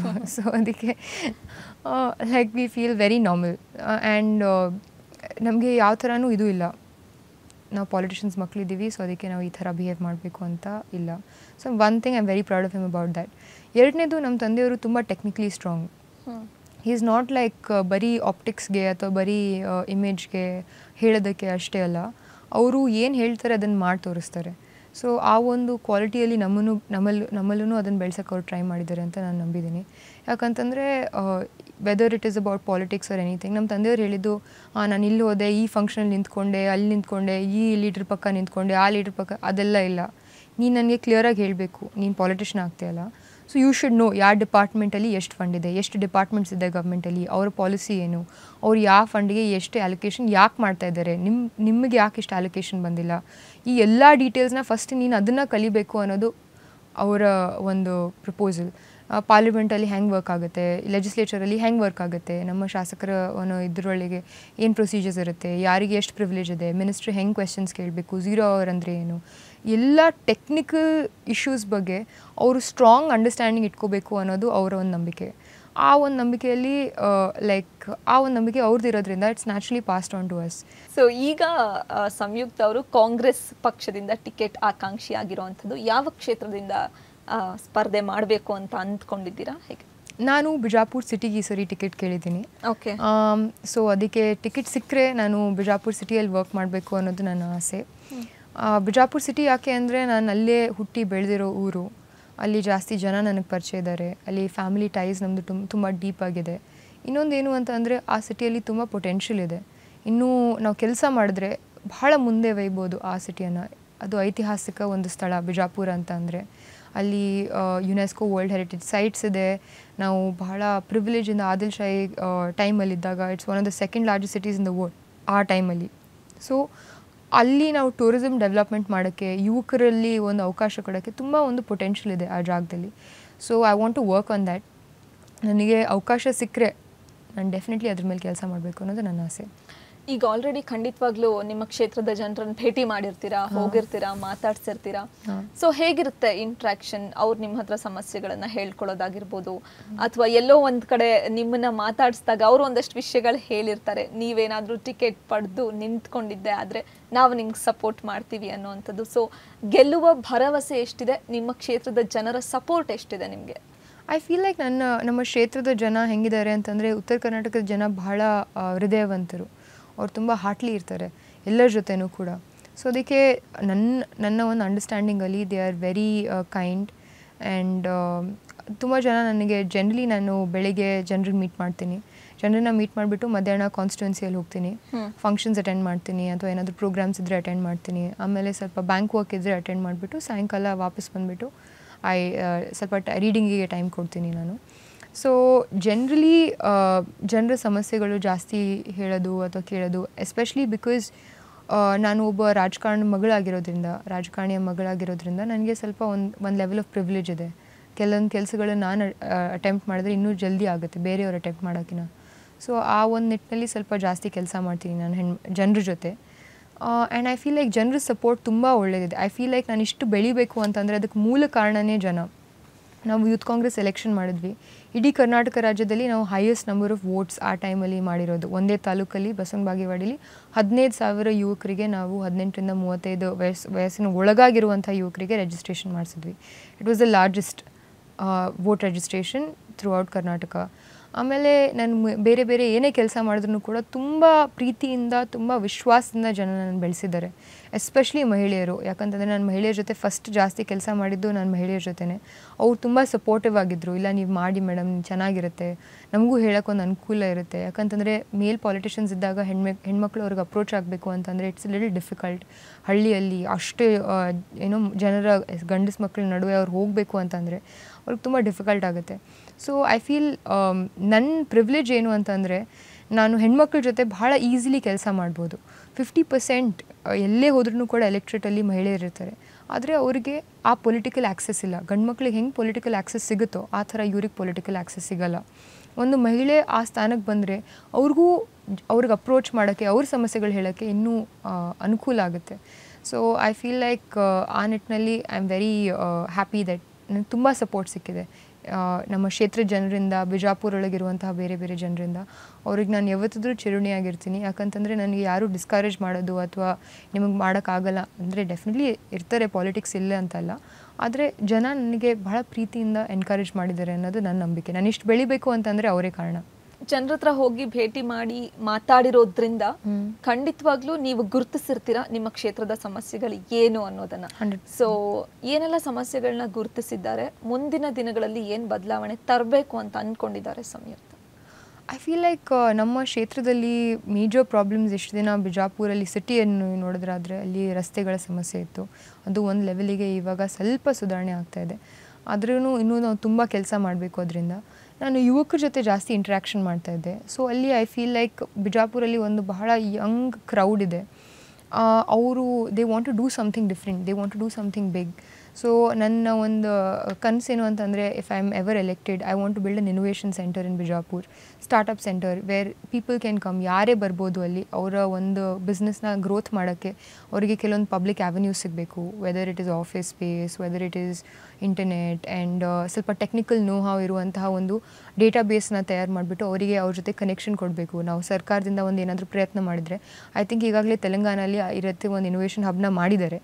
I thinks one prototype of that I want to build in Bijapur ನನ್ನ ನನ್ನ ಒಂದು ಆಸೆ ಅದು. ಇನ್ನೊಂದೇನು ಅಂತ ಅಂದರೆ ನಮ್ಮ ಭಾಗದ ಜನ ಜಾಸ್ತಿ ರೈತಾಪಿ ಜನ. ಅವರಿಗೆ ಇರಿಗೇಷನ್ ಸವಲತ್ತುಗಳು ಜಾಸ್ತಿ ನೆಸೆಸಿಟಿ ಇದೆ. ಈಗಾಗಲೇ ಒಂದು ಲೆವೆಲ್ಗೆ ಇರಿಗೇಷನ್ ನಮ್ಮ ಸಿದ್ದರಾಮಯ್ಯ ಸರ್ಕಾರದಲ್ಲಿ ಮಾಡಿದ್ದಾರೆ. ಅದಕ್ಕಿಂತಲೂ ಹೆಚ್ಚು ಕೂಡ ಇನ್ನೂ ಒಳ್ಳೆ ಕೆಲಸಗಳನ್ನು ಆ ನಿಟ್ಟಿನಲ್ಲಿ ನಾವು ಮಾಡ್ಬೋದು. ಇವಾಗ ಜಸ್ಟ್ ನಾವು ಫೇಸ್ ತ್ರೀ ಬರ್ತಾ ಇದ್ದೀವಿ ಆಫ್ ದ ಅಪಕೃಷ್ಣ ಪ್ರಾಜೆಕ್ಟ್ ಸೊ ಆ ಲೆವೆಲಲ್ಲಿ ನಾನು ಆ ಒಂದು ನಿಟ್ಟಿನಲ್ಲೂ ನಾನು ಕೆಲಸ ಮಾಡಬೇಕು ಅಂದ್ಕೊಂಡಿದ್ದೀನಿ ಇನ್ನೊಂದು ನನಗೆ ಭಾಳ ಇಂಪಾರ್ಟೆಂಟ್ ಇದ್ದಿದ್ದೇನು ಅಂತ ಏನಂದರೆ, ಐ, ನನಗೆ ಹಳ್ಳಿಯೊಳಗಿರುವಂಥ ಮಹಿಳೆಯರು ಯಾವತ್ತಿದ್ರೂ ನಿರಂತರವಾಗಿ ಅವರು ದುಡಿತಿರ್ತಾರೆ. ಇವಾಗ ನಾವು ವರ್ಕಿಂಗ್ ವುಮೆನ್ ಅಂತ ಅಂದರೆ ಹೆಚ್ಚಿಗೆ ನಾವು ಏನು ನೋಡ್ತೀವಿ ಲೈಕ್ ಆಫೀಸಿಗೆ ಹೋಗೋ ಹೆಣ್ಮಕ್ಳು ಅಥವಾ ಏನೋ, ಅದೇ ನಮ್ಮ ತಲೆಗೆ ಬರೋದು ಫಸ್ಟ್ ಮೈಂಡಿಗೆ ನಾವೇನು ಅಂದ್ಕೊಂಡಿದ್ದೀವಿ ಹಳ್ಳಿಯಲ್ಲಿರುವಂಥ ಮಹಿಳೆಯರು ಕೆಲಸ ಮಾಡಲ್ಲ, ಅವ್ರ ಮನೇಲಿರ್ತಾರೆ ಜಾಸ್ತಿ ಅಂತ ಜನರ ಒಂದು ಭಾವನೆ. ಆದರೆ ಇಟ್ ಈಸ್ ರಿಯಾಲಿಟಿ ಅದ್ರಿಗೆ ಆಪೋಸಿಟ್ ಇದೆ. ನಿರಂತರವಾಗಿ ನಮ್ಮ ದುಡಿಯೋರು ಯಾರಾದರೂ ಇದ್ದರೆ ಅದು ಹಳ್ಳಿಯೊಳಗಿರುವಂತಹ ಮಹಿಳೆಯರು. ಅವರು ದಿನನೂ ಏನೋ ಕೂಲಿ ಕೆಲಸ ಮಾಡೋಕ್ಕೆ ಹೋಗ್ತಾರೆ ಹಳ್ಳಿಯಲ್ಲಿ ಗ- ಹೊಲಕ್ಕೆ ಅಥವಾ ಎಲ್ಲಾದರೂ ಬೇರೆ ಬೇರೆ ಕಡೆ ಹೋಗ್ತಾರೆ. ಆದರೆ ಯಾವತ್ತಿದ್ರೂ ಕೂಡ ಅವರಿಗೆ ವರ್ಕಿಂಗ್ ವುಮೆನ್ ಅನ್ನೋ ಒಂದು ಮಾತು ಬಂದರೆ ಅವ್ರು ಗಣನೆಗೆ ತೊಗೊಳ್ಳಲ್ಲ ಅವ್ರನ್ನ ಸೊ ಅದಕ್ಕೆ ನನ್ನ ಒಂದು ಆಸೆ ಏನಿದೆ ಅಂತಂದರೆ ಅಲ್ಲಿರುವಂಥ ಹಳ್ಳಿಯೊಳಗಿರುವಂಥ ಹೆಣ್ಮಕ್ಳಿಗೆ ಫೈನಾನ್ಷಿಯಲಿ ನಾವು ಇಂಡಿಪೆಂಡೆಂಟ್ ಮಾಡಬೇಕು. ಅವ್ರು ಸಾಮಾಜಿಕವಾಗಿ ಮುಂದೆ ಬೆಳಿಬೇಕು ಅಂತಂದರೆ ಅದರ ಮೊದಲನೇ ಹೆಜ್ಜೆ ಏನು ಅಂತಂದರೆ ಅವ್ರದ್ದು ಓನ್ ಫೈನಾನ್ಷಿಯಲ್ ಕೆಪಾಸಿಟಿ ಇರಬೇಕು ಅವ್ರ ಹತ್ರ. ಇವಾಗ ಗಂಡ ಹೊಡಿತಾನೆ ಅಂತಂದರೆ ಅವ್ರು ಇರೋದು ಯಾಕಲ್ಲೇ? ಯಾಕಂತಂದರೆ ಅವ್ರಿಗೆ ಬೇರೆ ಆಪ್ಷನ್ ಇಲ್ಲ. ಅವರು ತಂದೆ ಡಿಪೆಂಡೆನ್ಸಿ ಜಾಸ್ತಿ ಇರುತ್ತೆ. If they become financially independent financially ಅವರು ಆರ್ಥಿಕವಾಗಿ ಒಂದು ಇಂಡಿಪೆಂಡೆನ್ಸ್ ಅವ್ರು ಪಡೆದ್ರು ಅಂತ ಅಂದರೆ ಇನ್ನೂ ಅವರು ಬಹಳ ಕೆಲಸಗಳನ್ನು ಮಾಡೋಕ್ಕೆ ಅವರ ಪೊಟೆನ್ಷಿಯಲ್ ರೀಚ್ ಮಾಡೋಕ್ಕೆ ಅವರಿಗೆ ತುಂಬ ತುಂಬ ಒಂದು ನಾವು ಶಕ್ತಿ ಕೊಟ್ಟಂಗೆ ಆಗುತ್ತೆ ಸೊ ನನಗೆ I want to build some projects where ನಾವು ವುಮೆನ್ ಆಂಟ್ರಪ್ರಿನರ್ಶಿಪ್ನ ಡೆವಲಪ್ ಮಾಡಬೇಕು ಆ ಒಂದು ನಿಟ್ಟಿನಲ್ಲಿ ಯಾಕಂದರೆ ಬಿಜಾಪುರಲ್ಲಿ ತುಂಬ ಜನ ಸಂಘದ ಮಹಿಳೆಯರಿದ್ದಾರೆ ತುಂಬ ಟ್ಯಾಲೆಂಟೆಡ್ ಮಹಿಳೆಯರಿದ್ದಾರೆ. ಅವ್ರಿಗೆ ನಾವು ಏನಾದರೂ ಸ್ವಲ್ಪ ಟ್ರೈನಿಂಗ್ ಮತ್ತು ಸ್ವಲ್ಪ ಫೈನಾನ್ಷಿಯಲ್ ರಿಸೋರ್ಸಸ್ನ ಅವ್ರಿಗೆ ಕೊಟ್ಟರೆ ಅವ್ರು ಡೆಫಿನೆಟ್ಲಿ ಅವ್ರ ಓನ್ ಬಿಸ್ನೆಸ್ನ ಸ್ಟ್ಯಾಂಡ್ ಮಾಡುವಂಥ capacity ಅವರಲ್ಲಿದೆ. So I want to build centre for development of women entrepreneurship ಇಷ್ಟೊತ್ತು ಮಾತಾಡಿದ್ರಲ್ಲಿ ನಾನು ಅನ್ಕೋತಾ ಇದ್ದೆ ಈ ಪ್ರಶ್ನೆ ಕೇಳಬೇಕಂತ. ಅಬ್ಸರ್ವ್ ಮಾಡಿದ್ರೆ ಸೌತ್ ಕರ್ನಾಟಕ ದಕ್ಷಿಣ ಕರ್ನಾಟಕಕ್ಕೆ ಹೋಲಿಸ್ಕೊಂಡ್ರೆ ಉತ್ತರ ಕರ್ನಾಟಕ ಬಹಳಷ್ಟು ಹಿಂದುಳಿದಿದೆ ಅನ್ನೋ ಮಾತಿದೆ. ಉದ್ಯೋಗ ಶಿಕ್ಷಣ ಬೇರೆ ಬೇರೆ ವಿಚಾರಗಳಲ್ಲಿ ಯಾಕೆ ಅನ್ಸುತ್ತೆ? ಐ ಫೀಲ್ ಲೈಕ್ ಒಂದು ಲೆವೆಲಲ್ಲಿ Bengaluru is a power centre so Bengaluru ಸುತ್ತಮುತ್ತ ಡೆವಲಪ್ ಡೆವಲಪ್ಮೆಂಟ್ ಆಗೋದು ಇದು ಸರ್ಜಿಕ ಅನ್ಕೊಂಡು ಸರ್ಜಿಕ ಐ ಥಿಂಕ್ ಯಾಕಂತಂದರೆ ಬೆಂಗಳೂರು ಕ್ಯಾಪಿಟಲ್ ಆಗಿರೋದ್ರಿಂದ ಎಲ್ಲ administrative and control power centre ಇಲ್ಲೇ ಇದೆ ಬೆಂಗಳೂರಲ್ಲಿ. ಸೊ ಬೆಂಗಳೂರು ಬೆಂಗಳೂರು ಸುತ್ತಮುತ್ತ ಇರುವಂತಹ ಜಾಗಗಳಿಗೆ ಆಬ್ವಿಯಸ್ಲಿ ಬೆಲೆ ಮತ್ತು ಅವರ ಡೆವಲಪ್ಮೆಂಟ್ ಆಕ್ಸಲೇಟ್ ಆಗುತ್ತೆ. ಆದರೆ ಇನ್ನೊಂದು ವಿಷಯ ಏನು ಅಂತ ಅಂದರೆ ಐ ಫೀಲ್ ಲೈಕ್ ನಮ್ಮ ಕಡೆ ಜನ ಏನಿದ್ದಾರೆ ಅಂತಂದರೆ ವಿ ಆರ್ ಹ್ಯಾಪಿ ನಮ್ಮ ಬಿಜಾಪುರಲ್ಲಿ ನಾವು ಏನಾದರೂ ಒಂದು ದೊಡ್ಡದು ಅಚೀವ್ಮೆಂಟ್ ಮಾಡಿದ್ರೆ ನಾವು ಖುಷಿಯಾಗಿದ್ದೀವಿ ನಮಗಿಲ್ಲಿ ಬರೋದು ಕಾಂಪಿಟೇಷನ್ ಮಾಡೋದು ಹೊರಗಡೆ ಹೋಗೋದು I not so interested in that so I feel like ನನ್ನ ಒಂದು ಪರ್ಸ್ಪೆಕ್ಟಿವಲ್ಲಿ ದೇರ್ ಇಸ್ ಒಂದು ಲೆವೆಲಲ್ಲಿ ಯಾಕೆ ಪೊಲಿಟಿಕಲ್ ಇಚ್ಛಾಶಕ್ತಿಯ ಕೊರತೆ ಇದೆ ನಮ್ಮ ಕಡೆ. ಯಾಕಂತಂದರೆ ಯಾವುದೇ ಪಕ್ಷ ಅಧಿಕಾರಕ್ಕೆ ಬರಲಿ ಉತ್ತರ ಕರ್ನಾಟಕದಿಂದನೇ ಅವ್ರ ಸರ್ಕಾರ ಆಗಬೇಕು. ಯಾಕಂತಂದರೆ ಅಷ್ಟು ಜನ ಶಾಸಕರು ನಾವು ಕೊಡ್ತೀವಿ. ಹೌದು. ಅಲ್ಲಿಂದನೇ ಇಲ್ಲಿಗೆ ಪವರ್ ಇಲ್ಲಿ ಪವರ್ ಇರಬೇಕು ಅಂತಂದರೆ ಅದು ಪವರ್ ತುಂಬವರೇ ಉತ್ತರ ಕರ್ನಾಟಕದ ಜನ ಅಂತ ನಾನು ನಂಬಿದ್ದೀನಿ. ಸೊ ಯಾರು ಅಲ್ಲಿಂದ ಇಲ್ಲಿಗೆ ಬರ್ತಾರೆ ಅವರಿಗೆ ಮೇಜರ್ ಪೋರ್ಟ್ಫೋಲಿಯೋಸ್ ಆಗಿರಲಿ ಅಥವಾ ಮೇಜರ್ ಪೊಲಿಟಿಕಲ್ ರೆಕಗ್ನಿಷನ್ ಆಗಿರಲಿ ಇಲ್ಲಿ ಸೌತ್ ಒಳಗಿರುವಂಥ ಪಾಲಿಟಿಷಿಯನ್ಸ್ ಅಷ್ಟು ಅವ್ರಿಗೆ ಸಿಗ್ತಾ ಇಲ್ಲ. ಸೊ ಐ ಫೀಲ್ ಲೈಕ್ ನಮ್ಮ ಉತ್ತರ ಕರ್ನಾಟಕದ ಜಾ, ಜನನೂ ಕೂಡ ಇವಾಗ ಜಾಗೃತಿ ಆಗಬೇಕು ಅವ್ರೂ ಕೂಡ, ಒಂದು ಲೆವೆಲಲ್ಲಿ ದಟ್ ನಮ್ಮದೇ ಆದಂತಹ ಒಂದು ಡೆವಲಪ್ಮೆಂಟ್ ಅಜೆಂಡಾ ಇಟ್ಕೋಬೇಕು. ನೀವು ಎಲ್ಲ ಫಂಡ್ಸ್ ತೊಗೊಳ್ಳಿ, ಏನೇ ತೊಗೊಳ್ಳಿ, ಯಾವುದೇ ಡಿಪಾರ್ಟ್ಮೆಂಟಲ್ ಫಂಡ್ಸ್ ತೊಗೊಳ್ಳಿ, ಎಲ್ಲದರ ಅಲೋಕೇಶನಲ್ಲೂ ತಾರತಮ್ಯ ಇದೆ. ಇಲ್ಲಿಗೆ ಹೆಚ್ಚಿಗೆ ಒತ್ತು ಕೊಡ್ತಾರೆ ಯಾಕಂತಂದರೆ ಇಲ್ಲ, ಇಲ್ಲಿ ರೆವಿನ್ಯೂ ಜಾಸ್ತಿ ಬರುತ್ತೆ ಇದು. That is the thought process I feel so ಆ ಥರ ಆಗಬಾರ್ದು ಅನ್ನೋದು ನನ್ನ ಆಸೆ. ಆ್ಯಂಡ್ ಒಂದು ಲೆವೆಲ್ಗೆ ಬದ ಶೈಕ್ಷಣಿಕವಾಗಿರಲಿ ಅಥವಾ ಯಾವುದೇ ಇನ್ನೊಂದು ಇನ್ನೊಂದು ಮಟ್ಟಿನಲ್ಲಾಗಿರಲಿ ಐ ಫೀಲ್ ಲೈಕ್ ನಮ್ಮ ಜನ ಹಾರ್ಡ್ ವರ್ಕಿಂಗ್ ಇದ್ದಾರೆ ಅವ್ರಿಗೆ ರಿಸೋರ್ಸಸ್ ಸಿಗಬೇಕು ಅಷ್ಟೇ. ಆ ರಿಸೋರ್ಸ್ ಡೆವಲಪ್ಮೆಂಟ್ ಏನಿದೆಯಲ್ಲ ಆ ರಿಸೋರ್ಸ್ ಡೆವಲಪ್ಮೆಂಟ್ನ ಇಲ್ಲಿರುವಂಥ ರಾಜಕಾರಣಿಗಳು ಮಾಡಬೇಕು. ಅದು ಅವರ ಮೇನ್ ಗೋಲ್ ಇರಬೇಕು. ಐ ಥಿಂಕ್ ಯಾವುದೇ ಸರ್ಕಾರ ದ ಒಬ್ಜೆಕ್ಟಿವ್ ಅದರ ಮೂಲ ಉದ್ದೇಶ ಏನು ಅಂತಂದರೆ ನೀವು ಎಲ್ಲ ಜನರಿಗೆ ಒಂದು ಸಮಾನವಾಗಿರುವಂಥ ಸ್ಟಾರ್ಟಿಂಗ್ ಪಾಯಿಂಟ್ ಕೊಡಬೇಕು. ಒಂದು ಒಳ್ಳೆಯ education decent housing affordable housing ಇರಬೇಕು ನೀರಿರಬೇಕು ಲೈಟ್ ಇರಬೇಕು ಈ ಥರ ಬೇಸಿಕ್ ಸವಲತ್ತುಗಳೇನಿದೆಯಲ್ಲ ಪ್ರತಿಯೊಂದು ಮನುಷ್ಯನಿಗೆ ಸ್ಟಾರ್ಟಿಂಗ್ ನಾವು ಸೇಮ್ ಕೊಡಬೇಕು. ಅದ್ರ ಮೇಲೆ ಅವ್ರು ಏನು ಅಚೀವ್ಮೆಂಟ್ ಮಾಡ್ತಾರೆ ಅನ್ನೋದು ಆ ಪರ್ಸನ್ ಮೇಲೆ ಡಿಪೆಂಡ್ ಸೊ ಅದಕ್ಕೆ ಆ ಒಂದು ನಿಟ್ಟಿನಲ್ಲಿ ಐ ಥಿಂಕ್ ನಮ್ಮ ಉತ್ತರ ಕರ್ನಾಟಕದಲ್ಲಿ ಸ್ವಲ್ಪ ಒಂದು ಲೆವೆಲಿಗೆ ರಾಜಕಾರಣಿಗಳು ಸಕ್ಸಸ್ಫುಲ್ ಆಗಿಲ್ಲ ಅಂತಂದರೆ ತಪ್ಪಾಗಲಿಕ್ಕಿಲ್ಲ ಐ ಥಿಂಕ್ ಸೊ ಸಂಯುಕ್ತ ಅವರು ಕಾಂಗ್ರೆಸ್ಸಿಂದ ಚುನಾವಣೆಗೆ ಸ್ಪರ್ಧೆಗಿಳಿಬೇಕು ಅಂತ ಅಂದ್ಕೊಂಡಿದ್ದಾರೆ ವೈ ಕಾಂಗ್ರೆಸ್? ತಂದೆ ಇದ್ದರು ಅನ್ನೋದು ಉದ್ದೇಶನ ಅಥವಾ ಐಡಿಯಾಲಜಿ ಐಡಿಯಾಲಜಿ ಮ್ಯಾಚ್ ಆಗುತ್ತೆ ಅಂತನಾ ಯಾಕೆ ಐ ಥಿಂಕ್ ನಾನು ತುಂಬ ಲಕ್ಕಿ ಇದ್ದೀನಿ ನಮ್ಮ ತಂದೆಯವರು ಕಾಂಗ್ರೆಸ್ಸಲ್ಲಿ ಇದ್ದಾರೆ ಅಂತ. ಯಾಕಂತಂದರೆ ನನ್ನ ideology I'm a liberal left person ನನಗೆ ನನ್ನ ಐಡಿಯಾಲಜಿ ಲಿಬ್ರಲ್ ಇದೆ. ಮತ್ತು ನನ್ನ ಏನೋ ಸೋಷಿಯಲ್ ಅಂಡರ್ಸ್ಟ್ಯಾಂಡಿಂಗ್ ಸಿದ್ದರಾಮಯ್ಯ ಅವ್ರ ಥರ ಲೆಫ್ಟ್ ಲೀನಿಂಗ್ ಅಂದರೆ ನಾವು ಸೋಷಲಿಸ್ಟ್ ಜನರಿಗೆ ನಾವು ಒಂದು ಲೆವೆಲ್ಗೆ ಬೇಸಿಕ್ ಕೊಡಬೇಕು ಫ್ರೀಯಾಗಿ ಅಂತ ಅನ್ನೋದು ನಮ್ಮ ಅಂಡರ್ಸ್ಟ್ಯಾಂಡಿಂಗ್ ಬಿಸ್ನೆಸ್ನ ನಾವು ಡೆಫಿನೆಟ್ಲಿ ಎನ್ಕರೇಜ್ ಮಾಡಬೇಕು. I do believe in a free market ನನಗೆ ಬಿಸ್ನೆಸ್ ಆಗಿರ್ಬೋದು ಕ್ಯಾಪಿಟಲಿಸಮ್ ಆಗಿರ್ಬೋದು, ಅದರಲ್ಲೇ ನನ್ನ ನಂಬಿಕೆ ಇದೆ. ಆದರೆ ಪ್ರಮುಖವಾಗಿ ನಾನು ಏನು ನಂಬಿದ್ದೀನಿ ಅಂತಂದರೆ ಎಲ್ಲರಿಗೂ ಕೂಡ ಬೇಸಿಕ್ಕಾಗಿ ಕೆಲವೊಂದು ಸವಲತ್ತುಗಳನ್ನು ಸರ್ಕಾರ ಒದಗಿಸ್ಬೇಕು. ಅದು ನನ್ನ ಒಂದು ಅಂಡರ್ಸ್ಟ್ಯಾಂಡಿಂಗ್ ಅದು ಕಾಂಗ್ರೆಸ್ನ ಅಂಡರ್ಸ್ಟ್ಯಾಂಡಿಂಗೂ ಕೂಡ. ಸೊ ಅದಕ್ಕೆ ಅದು ಒಂದು ಆಗಿರಲಿ, ಮತ್ತು ನಾನು ಜಾತಿ ಅಥವಾ ಒಂದು ರಿಲಿಜನ್ ಬಗ್ಗೆ ಏನೋ ವಿಷವನ್ನು ಬೀರೋದು ಅಥವಾ ಲೈಕ್ ಇನ್ನೊಂದು ರಿಲಿಜನ್ನ ಹೇಟ್ ಮಾಡೋದು, ಒಂದೇ ರಿಲಿಜನ್ನ ಪ್ರಪೌಂಡ್ ಮಾಡೋದು I don't believe in that ನಾನು ಹಿಂದೂ ಆಗಿದ್ದೀನಿ, ಆದರೆ ನಾನು ಇನ್ನೊಬ್ಬರಿಗೆ ಕೆಟ್ಟದನ್ನು ಹೇಳಿ ಅಥವಾ ಇವರು ಕೆಟ್ಟವರು ಅಂತ ಹೇಳಿ ನಾನು ಒಳ್ಳೆಯವಳಾಗಕ್ಕೆ ಸಾಧ್ಯ ಇಲ್ಲ ಅಂತ ನನ್ನ ನಂಬಿಕೆ. ಅದರಲ್ಲೂ ವಿಶೇಷವಾಗಿ ಉತ್ತರ ಕರ್ನಾಟಕದಲ್ಲಿ ಈ ಒಂದು ಪದ್ಧತಿ ಜಾಸ್ತಿ ಇದೆ ಅಬೌಟ್ ಮಲ್ಟಿ ಕಲ್ಚರಲಿಸಮ್ ನಮ್ಮ ಕಡೆ ಹೆಂಗಿದೆ ಅಂತಂದರೆ ಹಳ್ಳಿಯಲ್ಲಿ ಊರು ಸಾಯಿತು ಅಂತಂದರೆ ಕೆಲವೊಂದು ಚಾಜಾಗಳು ಹಿಂದೂ ಜನ ಏನೋ ಗೌಡ್ರ ಮನೆಯಿಂದ ಹೋಗುತ್ತೆ ಆ ಚಾಜಾದಕ್ಕೆ ಎಷ್ಟೊಂದು ಕಡೆ ನಾವು ಏನೋ ನಮ್ಮ ಹಿಂದೂ ದೇವರಲ್ಲಿ ಜಾತ್ರೆ ಎಲ್ಲ ಆಗ್ತಾ ಇದ್ರೆ ಅಲ್ಲಿರುವಂತಹ ಮುಸ್ಲಿಂ ದೇವರುಗಳಿಂದ ಕೆಲವೊಂದು ಇದು ಬರ್ತಾ ಇರುತ್ತೆ. ಸೊ ಆ ರೀತಿ ಒಂದು ಸೌಹಾರ್ದತೆಯ ಒಂದು ವಾತಾವರಣದಲ್ಲಿ ಬೆಳೆದಿರುವಂತಹ ಒಂದು ಸಮಾಜ ನಮ್ಮದು ಎಸ್ಪೆಷಲಿ ಉತ್ತರ ಕರ್ನಾಟಕದಲ್ಲಿ ಈ ರೀತಿ ಒಂದು ಸಾಮರಸ್ಯ ಜಾಸ್ತಿ ನಾವು ನೋಡ್ತೀವಿ. ಯಾಕಂದರೆ ಎಷ್ಟೊಂದು ಕಡೆ ನಾವು ನೋಡಿದ್ದೀವಿ. ಊರ್ಸ್ ಆಗಿರ್ಬೋದು ಫಂಕ್ಷನ್ ಆಗಿರ್ಬೋದು ಆ ಲೆವೆಲಿಗೆ ನಾವು ಒಬ್ರಿಗೊಬ್ರು ಹಚ್ಕೊಂಡಿದ್ದೀವಿ. ಸೊ ಆ ಒಂದು ಅಂಡರ್ಸ್ಟ್ಯಾಂಡಿಂಗಲ್ಲಿ ಬಂದಾಗ ಕಾಂಗ್ರೆಸ್ ಪಕ್ಷ ಇಸ್ ಅ ನ್ಯಾಚುರಲ್ ಚಾಯ್ಸ್ ಇವಾಗ. ಯಾಕಂತಂದರೆ ಆ ಆ ಪಾರ್ಟಿ ಐಡಿಯಾಲಜಿನೂ ಅದೇ ಇದೆ, ನಮ್ಮ ಐಡಿಯಾಲಜಿನೂ ಅದೇ ಇದೆ. ಎಲ್ಲರೂ ಸಮಾನರಾಗಿ ನಾವು ನೋಡಬೇಕು, ಎಲ್ಲರನ್ನೂ ಸಮಾನರಾಗಿ ನಾವು ಪ್ರೀತಿ ಮಾಡಬೇಕು. ಎಲ್ಲರ ಏಳಿಗೆಗೋಸ್ಕರ ನಾವು ಕೆಲಸ ಮಾಡಬೇಕು. ಇನ್ನೊಬ್ಬರನ್ನ ನಾವು ಏನೋ ಛೇದಿಸಬಾರ್ದು ಅನ್ನೋದು ನನ್ನ ಒಂದು ಅಂಡರ್ಸ್ಟ್ಯಾಂಡಿಂಗ್ ರಾಜಕೀಯ ಅಂತ ಬಂದಾಗ ಅಥವಾ ಅಲ್ಲಿ ಸರ್ವೈವ್ ಆಗಬೇಕು ಅನ್ನೋದಾದರೆ ಒಂದು ಇನ್ಫ್ಲೂಯೆನ್ಸ್ ಇರಬೇಕು ಹಣ ಬೆಂಬಲ ಇರಬೇಕು ಜಾತಿ ಬೆಂಬಲ ಇರಬೇಕು ಅನ್ನೋ ಮಾತಿದೆ. ಈ ಮಾತು ಒಪ್ಕೊಳ್ತಾರ ಸಂಯುಕ್ತ ಅಥವಾ ಇಲ್ಲ ಸರ್ವೀಸ್ ಮಾಡುವಂಥ ಒಂದು ಯೋಚನೆ ಸೇವಾ ಮನೋಭಾವನೆ ಇದ್ದರೆ ಸಾಕು ಅಂತಾರ. ರಿಯಲಿಸ್ಟಿಕ್ಲಿ ಹೇಳಬೇಕು ಅಂತಂದರೆ ಜಸ್ಟ್ ಸರ್ವಿಸ್ ಮಾಡಿನೂ ಮಾಡೋದು ತುಂಬ ಕಷ್ಟ. ಐ ಫೀಲ್ ಲೈಕ್ ಇವಾಗ ರಾಜಕಾರಣ ಹೆಂಗಾಗಿದೆ ಅಂತಂದರೆ it's a very tough ground ಇಲ್ಲಿ ದುಡ್ಡು ಬೇಕು, ಇಲ್ಲಿ ಅಧಿಕಾರ ಬೇಕು, ಇಲ್ಲಿ ಜಾತಿ ಬೇಕು, ಎಲ್ಲನೂ ಬೇಕು. ಆದರೆ ನನ್ನ ಒಂದು ನಂಬಿಕೆ ಏನಿದೆ ಅಂತಂದರೆ, ಇವಾಗ ನೀವು ಧರಮ್ ಸಿಂಗ್ ಅವ್ರು ನೋಡ್ಬೋದು. ಅವರು is from a minority caste ಅವ್ರದ್ದು ಕಾಸ್ಟ್ ಇಲ್ಲ ಅಲ್ಲಿ. ಆದರೆ ಅವ್ರು ಮಾಡ್ತಾ ಇರುವಂತಹ ಒಂದು ಸರ್ವಿಸ್ ಮೇಲೆ ಅವರು ಇಲ್ಲಿ ಇಷ್ಟು, ಎಷ್ಟು ಮಟ್ಟವರೆಗೂ ಬೆಳೆದಿದ್ದಾರೆ. ಎಷ್ಟೋ ಜನ ನಾವು ನಾಯಕರನ್ನ ನೋಡ್ತೀವಿ. ಇದನ್ನು ಭೇದಿಸಿ ಬಂದವರು ಕೂಡ ನಾಯಕರಾಗಿದ್ದಾರೆ. ಡೆಫಿನೆಟ್ಲಿ ನಿಮ್ಮ ಹತ್ರ ದುಡ್ಡಿದ್ದರೆ ಅಧಿಕಾರ ಇದ್ದರೆ ಕಾಸ್ಟ್ ಇದ್ದರೆ ನಿಮಗೆ ಹೆಲ್ಪ್ ಆಗುತ್ತೆ. ಇಲ್ಲ ಅಂತ ಇಲ್ಲ. ಆದರೆ ಅದಿದ್ದೆ ಅಂತ ಮಾತ್ರಕ್ಕೆ ನೀವು ರಾ ನೀವು ಲೀಡರ್ ಆಗ್ತೀರಿ ಅನ್ನೋದು ಗ್ಯಾರಂಟಿ ಇಲ್ಲ. ಎಷ್ಟೋ ಜನ ಇದೆಲ್ಲ ಇರದೇನೂ ಕೂಡ ಲೀಡರ್ ಆಗುವಂತಹ ಭಾಳಷ್ಟು ಉದಾಹರಣೆಗಳನ್ನು ನಾವು ರಾಜಕಾರಣದಲ್ಲಿ ನೋಡ್ತೀವಿ. So I feel like it is dependent on the person ಆ ಜನ ಆ ವ್ಯಕ್ತಿ ಮೇಲೆ ಅದು ನಿರ್ಭರತೆ ಇದೆ. ಅವ್ರು ಎಷ್ಟು ಮಟ್ಟಿಗೆ ಅದನ್ನು ಉಪಯೋಗಿಸ್ತಾರೆ ಎಷ್ಟು ಮಟ್ಟಿಗೆ ಕೆಲಸ ಮಾಡ್ತಾರೆ.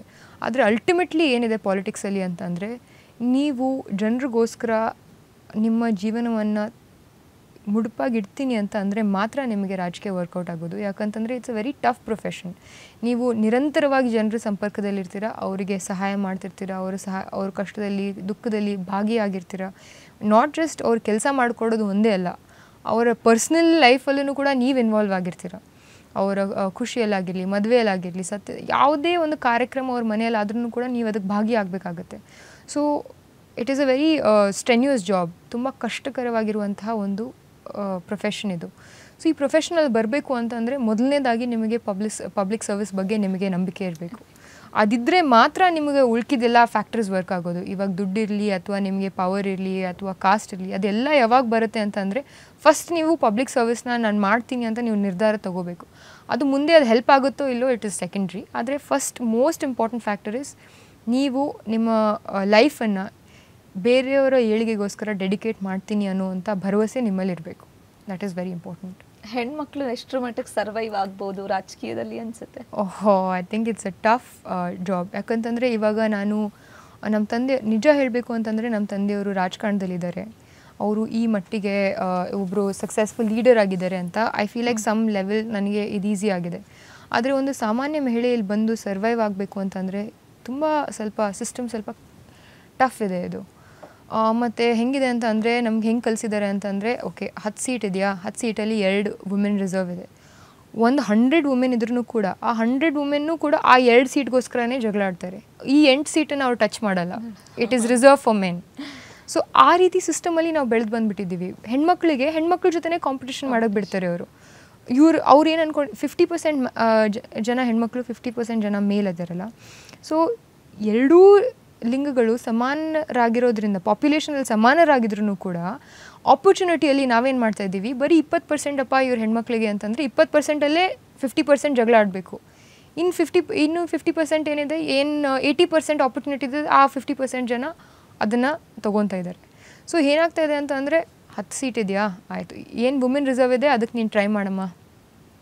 ಜನರಲ್ ಇದ್ದಿದ್ದಕ್ಕೆ ನಾವು ಟ್ರೈ ಮಾಡುವಂಗಿಲ್ಲ. ಯೂತ್ ಕಾಂಗ್ರೆಸ್ ಎಲೆಕ್ಷನಲ್ಲಿ ನಾನು ಮಾಡ್ತಾ ಇರುವಾಗ ಫಿಮೇಲ್ ಪಾಲಿಟಿಷಿಯನ್ಸ್ಗೆ ರಿಸರ್ವ್ ಇದೆ. ಅಂದರೆ ವುಮೆನ್ ರಿಸರ್ವೇಷನ್ ಇದೆ. ಯೂತ್ ಕಾಂಗ್ರೆಸ್ಸಲ್ಲಿ ಸ್ಟೇಟ್ ಒಂದು ಎಲೆಕ್ಷನ್ ಇದೆ. ಆ ಎಲೆಕ್ಷನಲ್ಲಿ ವುಮೆನ್ಗೆ ರಿಸರ್ವೇಷನ್ ಇದೆ. ಸೊ ಏಟ್ ಏಟ್ ವುಮೆನ್ನ ಸ್ಟೇಟ್ ವೈಸ್ ಅವರು ಆಟೋಮ್ಯಾಟಿಕ್ಕಾಗಿ ಇಫ್ ಯು ಆರ್ ರಿಸರ್ವೇಷನ್ ಕ್ಯಾಟಗರಿಯಲ್ಲಿ ನೀವು ಎಲೆಕ್ಟ್ ಆಗಿ ಬರ್ಬೋದು. ಸೊ ಆ ಒಂದು ಎಲೆಕ್ಷನಲ್ಲಿ ಏನಾಗಿತ್ತು ಅಂತ ಅಂದರೆ, ಬರೀ ಮೂರು ಜನ ಅಥವಾ ಇಲ್ಲಿ ಎರಡು ಜನ ಇಬ್ಬರು ಜನ ಮಹಿಳೆಯರು ಕಂಟೆಸ್ಟ್ ಮಾಡಿದರು. ಸೊ ಆಟೋಮ್ಯಾಟಿಕ್ಲಿ ನಾನು ಒಂದೇ ವೋಟ್ ತೊಗೊಂಡ್ರೂ ಕೂಡ ಐ ವುಡ್ ಗೆಟ್ ಎಲೆಕ್ಟೆಡ್ ಯಾಕಂದರೆ ಏಯ್ಟ್ ಸೀಟ್ಸ್ ರಿಸರ್ವ್ ಇದೆ. ಬರೀ ಟೂ ಪೀಪಲ್ ಅದನ್ನು ಅದಕ್ಕೋಸ್ಕರ ಕಂಟೆಸ್ಟ್ ಮಾಡ್ತಾಯಿದ್ದಾರೆ ಸೊ ನಾನು ಜಾಸ್ತಿ ವೋಟ್ಸ್ ಎಲ್ಲ ಮಾಡಿಬಿಟ್ಟು ಜಾಸ್ತಿ ಕಾಂಪಿಟೇಷನಲ್ಲಿ ಬಂದಾಗ ಜನ ಕೇಳ್ತಾಯಿದ್ರು ನನಗೆ ನನಗೆ ಯಾಕ್ರಿ ಮೇಡಮ್ ನಿಮ್ಗೆ ಅದಲ್ರಿ ರಿಸರ್ವ್ ಮತ್ತೆ ಯಾಕೆ ಬರಾಗತ್ತೀರಿ ಇದ್ರೊಳಗೆ? ಮತ್ತು ನಿಮ್ಮ ಹೆಣ್ಮಕ್ಳಿಗೆ ಕೊಟ್ಟಾರಲ್ಲ ನೀವು ಮತ್ತೆ ಎಲೆಕ್ಷನ್ ಕಂಪ್ ಕಂಟೆಸ್ಟ್ ಮಾಡಿದ್ರೆ ಒಂದು ಮೇಲ್ ಕಡಿಮೆ ಆಗ್ತಾರೆ ಅನ್ನೋದು ಅವ್ರ ಯೋಚನೆ. If I get elected in general category ಅಲ್ಲಿ ಬರ್ತಾ ಇರುವಂಥ ಒಂದು ಮೇಲ್ ಪರ್ಸನ್ ಡ್ರಾಪ್ ಆಗ್ತಾರೆ. ನೀವು ಯಾಕೆ ಅದಕ್ಕೆ ಕಂಟೆಸ್ಟ್ ಮಾಡ್ತಿದ್ದೀರಾ? ವುಮೆನ್ ಕೋಟಲ್ಲಿ ನೀವು ಹೋಗಿ ಅಂತ ಅವ್ರದ್ದೊಂದು ಅಂಡರ್ಸ್ಟ್ಯಾಂಡಿಂಗ್ ನಿಮ್ಮ ರಾಜಕೀಯ ಜರ್ನಿ ಒಂದು ಕಡೆ ಆದ್ರೆ ಸಂಯುಕ್ತ ಅವ್ರು ಹೇಗೆ ಅಂದರೆ ಕೈಯಲ್ಲಿ ಅಧಿಕಾರ ಇರಲಿ ಇಲ್ಲದೆ ಇರಲಿ ಎಲೆಕ್ಟ್ ಆಗ್ತೀನೋ ಬಿಡ್ತೀನೋ ಟಿಕೆಟ್ ಸಿಗುತ್ತೋ ಬಿಡುತ್ತೋ ಅದೆಲ್ಲವೂ ಸೆಕೆಂಡ್ರಿ ಬಟ್ ಸಮಾಜ ಸೇವೆ ಮಾಡಬೇಕು ಜನರಿಗೆ ಸರ್ವಿಸ್ ಮಾಡಬೇಕು ಅನ್ನೋ ನಿಲುವು ಸಂಯುಕ್ತ ಅವ್ರದ್ದು ಸೊ ಹಾಗಾಗಿ ಸ್ಪರ್ಶ ಫೌಂಡೇಶನ್ ಮೂಲಕ ಸಾಕಷ್ಟು ಕೆಲಸಗಳನ್ನು ಮಾಡಿದ್ದೀರಾ ಮಾಡ್ತಾ ಇದ್ದೀರಾ? ಕೋವಿಡ್ ಟೈಮಲ್ಲಿ ನಿಮ್ಮ ಮತ್ತು ನಿಮ್ಮ ಫೌಂಡೇಶನ್ ಪಾತ್ರ ಬಹಳ ದೊಡ್ಡದಿತ್ತು. ಆ, ನಿಮ್ಮ ಊರಿನಲ್ಲಿ ಸೊ ಆ ಟೈಮ್ ಆ ದಿನಗಳು ಹೇಗೆ ಜನರನ್ನ ತಲುಪಿಸೋ ತಲುಪೋದಿಕ್ಕೆ ಸಾಧ್ಯ ಆಯಿತು ಅಂತ ಕೋವಿಡ್ ಟೈಮಲ್ಲಿ ಐ ಥಿಂಕ್ ಕೋವಿಡ್ ಬಹಳ ಒಂದು ಟಫ್ ಟೈಮ್ ಇತ್ತು. ಯಾಕಂತಂದರೆ ನನಗೆ ಬಹಳ ಹತ್ತಿರವಾಗಿರೋರು ಬಹಳ ಕ್ಲೋಸ್ ಇರೋರನ್ನ ನಾನು ಕಳ್ಕೊಂಡಿದ್ದೀನಿ ಆ ಟೈಮಲ್ಲಿ ವೆದರ್ ಇಟ್ ಇಸ್ ನಮ್ಮ ಜೊತೆ ಕೆಲಸ ಮಾಡ್ತಿರುವಂಥ ಲೀಡರ್ಸ್ ಆಗಿರ್ಬೋದು ಅಥವಾ ನಾವು ಕೆಲಸ ಮಾಡ್ತಾ ಇರುವಂಥ ಹೆಣ್ಮಕ್ಳಾಗಿರ್ಬೋದು ಅಥವಾ ಅವ್ರ ಫ್ಯಾಮಿಲಿ ಮೆಂಬರ್ಸ್ ಆಗಿರ್ಬೋದು ತುಂಬ ಜನ ಬಹಳ ಏನೋ ಕಷ್ಟಕ್ಕೊಳಗಾದರು ಆ ಸಮಯದಲ್ಲಿ. ಸೊ ಆ ಸಮಯದಲ್ಲಿ ಎಲ್ಲರೂ ಕೂಡ ನಾನಷ್ಟು, ನಾನಂತ ಅಷ್ಟೇ ಅಲ್ಲ ಫೌಂಡೇಶನ್ ಅಂತ ಅಷ್ಟೇ ಅಲ್ಲ ಪ್ರತಿಯೊಬ್ಬರೂ ಕೂಡ ಅವ್ರಿಗೆ ಎಷ್ಟಾಗುತ್ತೆ ಇನ್ನೊಬ್ರಿಗೆ ಸಹಾಯ ಮಾಡೋಕ್ಕೆ ಮುಂದಾಗಿರೋ ಒಂದು ವಿಷಯನ, ಒಂದು ದೃಷ್ಟಿಯನ್ನು ದೃಶ್ಯಗಳನ್ನು ನಾವು ನೋಡಿದ್ದೀವಿ ಸೊ ಆ ಒಂದು ಸನ್ನಿವೇಶದಲ್ಲಿ ನಾವು ಜಾಸ್ತಿ ಕೆಲಸ ಮಾಡಿದ್ದೀನೋ ಅಂದರೆ ಕಿಟ್ ವಿತರಣೆಗೋಸ್ಕರ ನಾವು ಕೆಲಸ ಮಾಡಿದ್ವಿ. ನಮ್ಮ ತಂದೆಯವರು D C C bank foundation ಎಲ್ಲರೂ ಕೂಡ ಪ್ರತಿಯೊಂದು ಹಳ್ಳಿನೂ ಕೂಡ ನಮ್ಮ ಮತಕ್ಷೇತ್ರದಲ್ಲಿ ಒಂದು ಇಪ್ಪತ್ತೈದು ಸಾವಿರ ತನಕ ನಾವು ಕಿಟ್ ಹಂಚಿದ್ದೀವಿ ಆ ಕಿಟ್ಟಲ್ಲಿ ನಾವು ಲೈಕ್ ಎಲ್ಲರೂ ಏನು ಮಾಡಿದ್ರು ಅಂತಂದರೆ ಒಂದು ಲೆವೆಲಿಗೆ ಏನಾಗ್ಬಿಟ್ಟಿದೆ ಅಂದರೆ ಪಾಲಿಟಿಷಿಯನ್ಸ್ಗೆ ಜಸ್ಟ್ ಫೋಟೋ ಹಾಕೋಕ್ಕೆ ಒಂದು ಒಂದೊಂದು ಒಂದೊಂದು ಕೆ ಜಿ ಕೊಟ್ಟು ಇದು ಮಾಡ್ತಾಯಿದ್ರು ಆದರೆ ನಾವು ನಾವು ಆ ಥರ ಮಾಡಿಲ್ಲ. ಯಾವುದೇ ಕಿಟ್ ಮೇಲೆ ನಮ್ಮ ತಂದೆಯವ್ರದ್ದಾಗಿರಲಿ ನಮ್ದು ಯಾರ್ದು ಫೋಟೋ ಇರಲಿಲ್ಲ. ಅಲ್ಲಿ ಬರೀ ಇದ್ದಿದ್ದು ಒಬ್ಬರೇ ಸಿದ್ಧಗಂಗಾ ಸ್ವಾಮೀಜಿಯವ್ರ ಫೋಟೋ ಇತ್ತು ಬಸವಣ್ಣವ್ರ ಒಂದು ವಚನ ಇತ್ತು. ಪ್ರತಿಯೊಂದು ಕಿಟ್ಟು ಇಪ್ಪತ್ತು ಕೆ ಜಿ ಕಿಟ್ಟಿತ್ತು ಅದು. ಪ್ರತಿಯೊಬ್ಬರಿಗೂ ಕೂಡ ಒಂದು ತಿಂಗಳಿಗಾಗುವಂತಹ ಎಲ್ಲ ಪದಾರ್ಥಗಳನ್ನು ಅದು ಸಾಸಿವೆ, ಜೀರಿಗೆ ಹಿಡ್ಕೊಂಡು, ಅಕ್ಕಿ, ಉಳ್ಳಾಗಡ್ಡಿ ಎಲ್ಲ ಹಿಡ್ಕೊಂಡು ಎಲ್ಲನೂ ಕೂಡ ಆ ಕಿಟ್ಟಲ್ಲಿ ನಾವು ವಿತರಣೆಯನ್ನು ಮಾಡಿದ್ದೀವಿ. ಜನರಿಗೆ ಒಂದು ಅನುಕೂಲ ಆಗಲಿ ಅಂತ. ಆದ್ರೂ ಕೂಡ ಐ ಫೀಲ್ ಲೈಕ್ ಎಲ್ಲರಿಗೂ ಕೂಡ ಅದನ್ನು ತಲುಪಿಸುವಂತಹ ಒಂದು ಶಕ್ತಿ ನಮಗೆ ಆಗಲಿಲ್ಲ ಆದರೆ ಬೇರೆ ಬೇರೆಯವ್ರು ಸಹಾಯ ಮಾಡಿದ್ರು ಒಂದು ಲೆವೆಲಿಗೆ ಎಲ್ಲರಿಗೂ ಉಪಯೋಗ ಆಯಿತು. ಆದರೆ ಕೋವಿಡ್ ಒಂದು ಕ್ಲಾಸಿಕ್ ಎಕ್ಸಾಂಪಲ್ ಇದೆ. ಸರ್ಕಾರ ವಿಫಲರಾದರೆ ಸಮಾಜ ಎಷ್ಟು ಮಟ್ಟಿಗೆ ಕೆಳಗೆ ಬೀಳ್ಬೋದು ಅಂತ. ಆ ಟೈಮಲ್ಲಿ ನಮ್ಮ ಪಬ್ಲಿಕ್ ಹೆಲ್ತ್ ಸಿಸ್ಟಮ್ ಎಷ್ಟು ಪೆಥೆಟಿಕ್ ಆಗಿತ್ತು ಅಂತಂದರೆ ಯಾವ ಗೌರ್ಮೆಂಟ್ ಹಾಸ್ಪಿಟಲಲ್ಲೂ ಕೂಡ ನಾವು ಒಳ್ಳೆ ಟ್ರೀಟ್ಮೆಂಟ್ನ ಎಕ್ಸ್ಪೆಕ್ಟೇಷನೇ ಇರಲಿಲ್ಲ ನಮಗೆ. ಎಲ್ಲರೂ ಪ್ರೈವೇಟ್ ಹಾಸ್ಪಿಟಲ್ಗೆ ಹೋಗಬೇಕಾಯಿತು. ಎಲ್ಲರೂ ಪ್ರೈವೇಟ್ ಹಾಸ್ಪಿಟಲ್ಗೆ ಅಫೋರ್ಡ್ ಮಾಡೋಕ್ಕಾಗ್ತಾ ಇರಲಿಲ್ಲ. ತುಂಬ ತುಂಬ ಕಷ್ಟ ಆಯಿತು ಜನರಿಗೆ. ಸೊ ಐ ಫೀಲ್ ಲೈಕ್ ಇದು ಒಂದು ಎಕ್ಸಾಂಪಲ್ ಏನು ಅಂತಂದರೆ ಸರ್ಕಾರ ಮನಸ್ಸು ಮಾಡಿದರೆ ಏನೆಲ್ಲ ನಾವು ಮಾಡ್ಬೋದಾಗಿತ್ತು. ಆದರೆ ನಾವು ಮಾಡದೇ ಇರೋ ಕಾರಣ ಎಷ್ಟೆಲ್ಲ ಜನರು ತಮ್ಮ ಜೀವನವನ್ನು ಕಳ್ಕೊಂಡ್ರು ಅನ್ನೋದಕ್ಕೆ ಅದು ಒಂದು ಕ್ಲಾಸಿಕ್ ಎಕ್ಸಾಂಪಲ್ ಅಂತ ನಾನು ಹೇಳೋಕ್ಕೆ ಇಷ್ಟಪಡ್ತೀನಿ. ಸೊ ಒಂದು ಗವ್ಮೆಂಟಲ್ಲಿ ಇದ್ದಾಗ ಆ ಮುನ್ನಾಲೋಚನೆ ಇರಬೇಕು ಪಾಲಿಟಿಷನ್ಗೆ ಜನರಿಗೆ ಏನು ಬೇಕು, ತಾಯಿ ಮತ್ತು ಮಕ್ಕಳ ಹಾಸ್ಪಿಟಲ್ ಆಗಿರ್ಬೋದು ಜನರಲ್ ಪಬ್ಲಿಕ್ ಪಬ್ಲಿಕ್ ಸರ್ವಿಸ್ ಅಂತ ಅಂದರೆ, ಇವಾಗ ನೀವು ಪಬ್ಲಿಕ್ ಹಾಸ್ಪಿಟಲ್ ಅಂತ ಅಂದರೆ it should be as good as a private hospital and better in my opinion ಇವಾಗ ನಾವು ಲಂಡನಲ್ಲಿ ನ್ಯಾಷನಲ್ ಹೆಲ್ತ್ ಸರ್ವಿಸ್ ನೋಡ್ತೀವಿ. ಸಾರಿ ಇಂಗ್ಲೆಂಡಲ್ಲಿ United ಕಿಂಗ್ಡಮ್ಸಲ್ಲಿ it is excellent public health service ಅಲ್ಲಿ ಎಲ್ಲರಿಗೂ ಕೂಡ ಗೌರ್ಮೆಂಟ್ ಉಚಿತವಾಗಿ ಟ್ರೀಟ್ಮೆಂಟ್ ಕೊಡುತ್ತೆ. ಸೊ ಆ ಒಂದು ರೀ ಆ ಥರ ಒಂದು ಸಿಸ್ಟಮನ್ನು ನಾವು ನಮ್ಮ ದೇಶದಲ್ಲಿ ಡೆವಲಪ್ಮೆಂಟ್ ಮಾಡಬೇಕು ಅನ್ನೋದು ನನ್ನ ಒಂದು ಲೈಕ್ ಥಾಟ್ ಆ ಒಂದು ಕೋವಿಡಲ್ಲಿ ನಾವು ಜನರಿಗೆ ಹೆಲ್ಪ್ ಮಾಡಿದ್ವಿ. ನಮ್ಮ ಫೌಂಡೇಶನ್ ಮೂಲಕನೂ ಹೆಲ್ಪ್ ಮಾಡಿದ್ವಿ. ಇತ್- ಇತರೆ ಇದ್ರ ಮೂಲಕನೂ ಹೆಲ್ಪ್ ಮಾಡಿದ್ವಿ. ಆದರೆ ಆ ಟೈಮಲ್ಲಿ ನನಗೆ ಜಾಸ್ತಿ ಬೇಸರ ಆಗಿರೋದು ಸರ್ಕಾರದ ಒಂದು ವ್ಯವಸ್ಥೆನ ನೋಡಿ. ಅದಾದ್ಮೇಲೆ ಜನ ಆಕ್ಸಿಜನ್ ಇಲ್ಲದೆ ಪರದಾಡದಂತಹ ದಿನಗಳು. ಅದು ಪರದಾಡ್ದಂತಹ ವಿಷಯ ಮೊದಲೇ ಪ್ರಿಪ್ರೇಷನ್ ಮಾಡಬೇಕಾಗಿತ್ತು. ಇದು ಈ ಒಂದು ಯಾಕಂತಂದರೆ ಕೋವಿಡ್ ಬರುತ್ತೆ ಅಂತ ನಮಗೆ ಅಟ್ಲೀಸ್ಟ್ ಇಲ್ಲಿ ಬರೋಕ್ಕಿಂತ ಮುಂಚೆ ಅಟ್ಲೀಸ್ಟ್ ಒಂದು ಫೈವ್ ಸಿಕ್ಸ್ ಮಂತ್ಸ್ಕಿಂತ ಮುಂಚೆ ಚೈನಾ ಅಲ್ಲಿ ಫಸ್ಟ್ ಬಂದಾಗ it had become news definitely ಬರುತ್ತೆ. ಇವಾಗ ಬರಲಿಲ್ಲ ಅಂತಂದ್ರೆ ಇಂಡಿಯಾಗೆ ಬರ್ತಾ ಇದೆ. ಹೌದು. ಅದು ಎಲ್ಲರಿಗೂ ಆಂಟಿಸಿಪೇಷನ್ ಇತ್ತು. ಯಾವಾಗ ಬರುತ್ತೆ ಅನ್ನೋದು ಮಾತ್ರ ನಾವು ಕಾಯ್ ಕಾಯ್ದುಕೊಂಡು ನೋಡಬೇಕಾಗಿತ್ತು. ಮತ್ತು ಅಲ್ಲಿ ಬೇರೆ ಬೇರೆ ದೇಶದಲ್ಲಿ ಆಗಿರುವಂತಹ ಏನು ಡೆತ್ಸ್ ಆಗಿರ್ಬೋದು ಅವ್ರ ಪಬ್ಲಿಕ್ ಸಿಸ್ಟಮ್ ಆಗಿರ್ಬೋದು ಅದನ್ನೆಲ್ಲರೂ ನಾವು ಕಣ್ಣಾರೆ ನೋಡಿದ್ದೀವಿ ಸೊ ಆ ಒಂದು ನಿಟ್ಟಿನಲ್ಲಿ ನಾವು ಪ್ರಿಪ್ರೇಷನ್ ಇನ್ನೂ ಒಳ್ಳೆಯದನ್ನಾಗಿ ಮಾಡ್ಬೋದಾಗಿತ್ತು ಅಂತ ನನ್ನ opinion and we really failed in that in that particular instance so ನನ್ನ ಅಂಡರ್ಸ್ಟ್ಯಾಂಡಿಂಗ್ ಏನು ಅಂತಂದರೆ this is why I want to come to politics because ಇಲ್ಲಿ ಕೆಲಸ ಮಾಡಿದ್ರೆ ಬಹಳಷ್ಟು ಜೀವನ ಜನರ ಜೀವನ ನೀವು ಬದಲಾವಣೆ ಮಾಡ್ಬೋದು. ಖಂಡಿತ. It touches every part of your life ನೀವು ಹಾಕ್ಕೊಳ್ಳುವಂಥ ಬಟ್ಟೆಯನ್ನು ಹಿಡ್ಕೊಂಡು ನೀವು ಯೂಸ್ ಮಾಡ್ತಿರೋಂತಹ ತರಕಾರಿ ಇಟ್ಕೊಂಡು ಎಲ್ಲನೂ ಕೂಡ ಪಾಲಿಟಿಕ್ಸ್ ಟಚ್ ಮಾಡುತ್ತೆ. ಅದು ಎಲ್ಲನೂ ಕೂಡ ಸರಳ ಮಾಡುವಂತಹ ಶಕ್ತಿ ರಾಜಕಾರಣದಲ್ಲಿದೆ. ಅದನ್ನು ಕರೆಕ್ಟಾಗಿ ಉಪಯೋಗಿಸೋರು ಬೇಕು ನಮಗೆ. That is the most important thing ಮತ್ತು ನಮ್ಮ ಫೌಂಡೇಶನಲ್ಲಿ ನಾವು ಜಾಸ್ತಿ ಹೆಣ್ಮಕ್ಳ ಜೊತೆ ಅವರ ಆರ್ಥಿಕ ಸಬಲೀಕರಣದಗೋಸ್ಕರ ನಾವು ಜಾಸ್ತಿ ಕೆಲಸ ಮಾಡ್ತೀವಿ.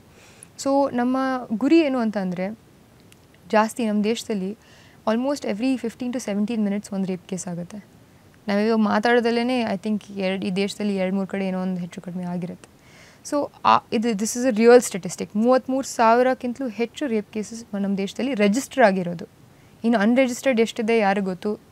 ಅದು it is like unaccounted so ಅದಕ್ಕೆ ನಮ್ಮ ದೇಶದಲ್ಲಿ ಏನು ಅಂತಂದರೆ ಪ್ರಮುಖವಾಗಿ ಮಹಿಳೆಯರಿಗೆ ನಾವು ಸಬಲೀಕರಣದಗೋಸ್ಕರ ಏನಾದರೂ ನಾವು ಮಾಡಬೇಕು ಅಂತಂದರೆ ಅವರಿಗೆ ಫಸ್ಟ್ ಆರ್ಥಿಕವಾಗಿ ತಮ್ಮದೇ ಆದಂತಹ ಕಾಲ ಮೇಲೆ ನಿಂತ್ಕೊಳ್ಳುವಂಥ ಶಕ್ತಿ ನಾವು ಬೆಳೆಸಬೇಕು ಅನ್ನೋದು ನನ್ನ ನಂಬಿಕೆ. ನಾನು ಫಸ್ಟ್ ಹೋಗಿ ಫೌಂಡೇಶನಲ್ಲಿ ಕೆಲಸ ಮಾಡಿದಾಗ ಅದನ್ನೇ ನಾವು ಯೋಚನೆ ಮಾಡ್ತಾಯಿದ್ವಿ ನಾವು ಸಾಲ ಕೊಡೋದು ತೊಗೊಳ್ಳೋದು ದ್ಯಾಟ್ ಈಸ್ ನಾಟ್ ಇಂಪಾರ್ಟೆಂಟ್ ಆ ಸಾಲದಿಂದ ನಾವು ಏನು, ಯಾಕಂತಂದರೆ ಕ್ಯಾಪಿಟಲ್ ಅಂತ ಅಂದರೆ, ದುಡ್ಡು ಅಂತ ಅಂದರೆ ಅದು ಬೆಳೆಯೋಕ್ಕೊಂದು ಅವಕಾಶ. ಪ್ರತಿಯೊಂದು ಬಿಸ್ನೆಸ್ ಬೆಳಿಬೇಕು ಅಂತಂದರೆ ಲೋನ್ ಮೇಲೇ ಬೆಳೆಯೋದದು. ಯಾರೂ ನೀ ಓನ್ ದುಡ್ಡು ಹಾಕ್ಬಿಟ್ಟು ಯಾರೂ ಬಿಸ್ನೆಸ್ ನಡೆಸಲ್ಲ.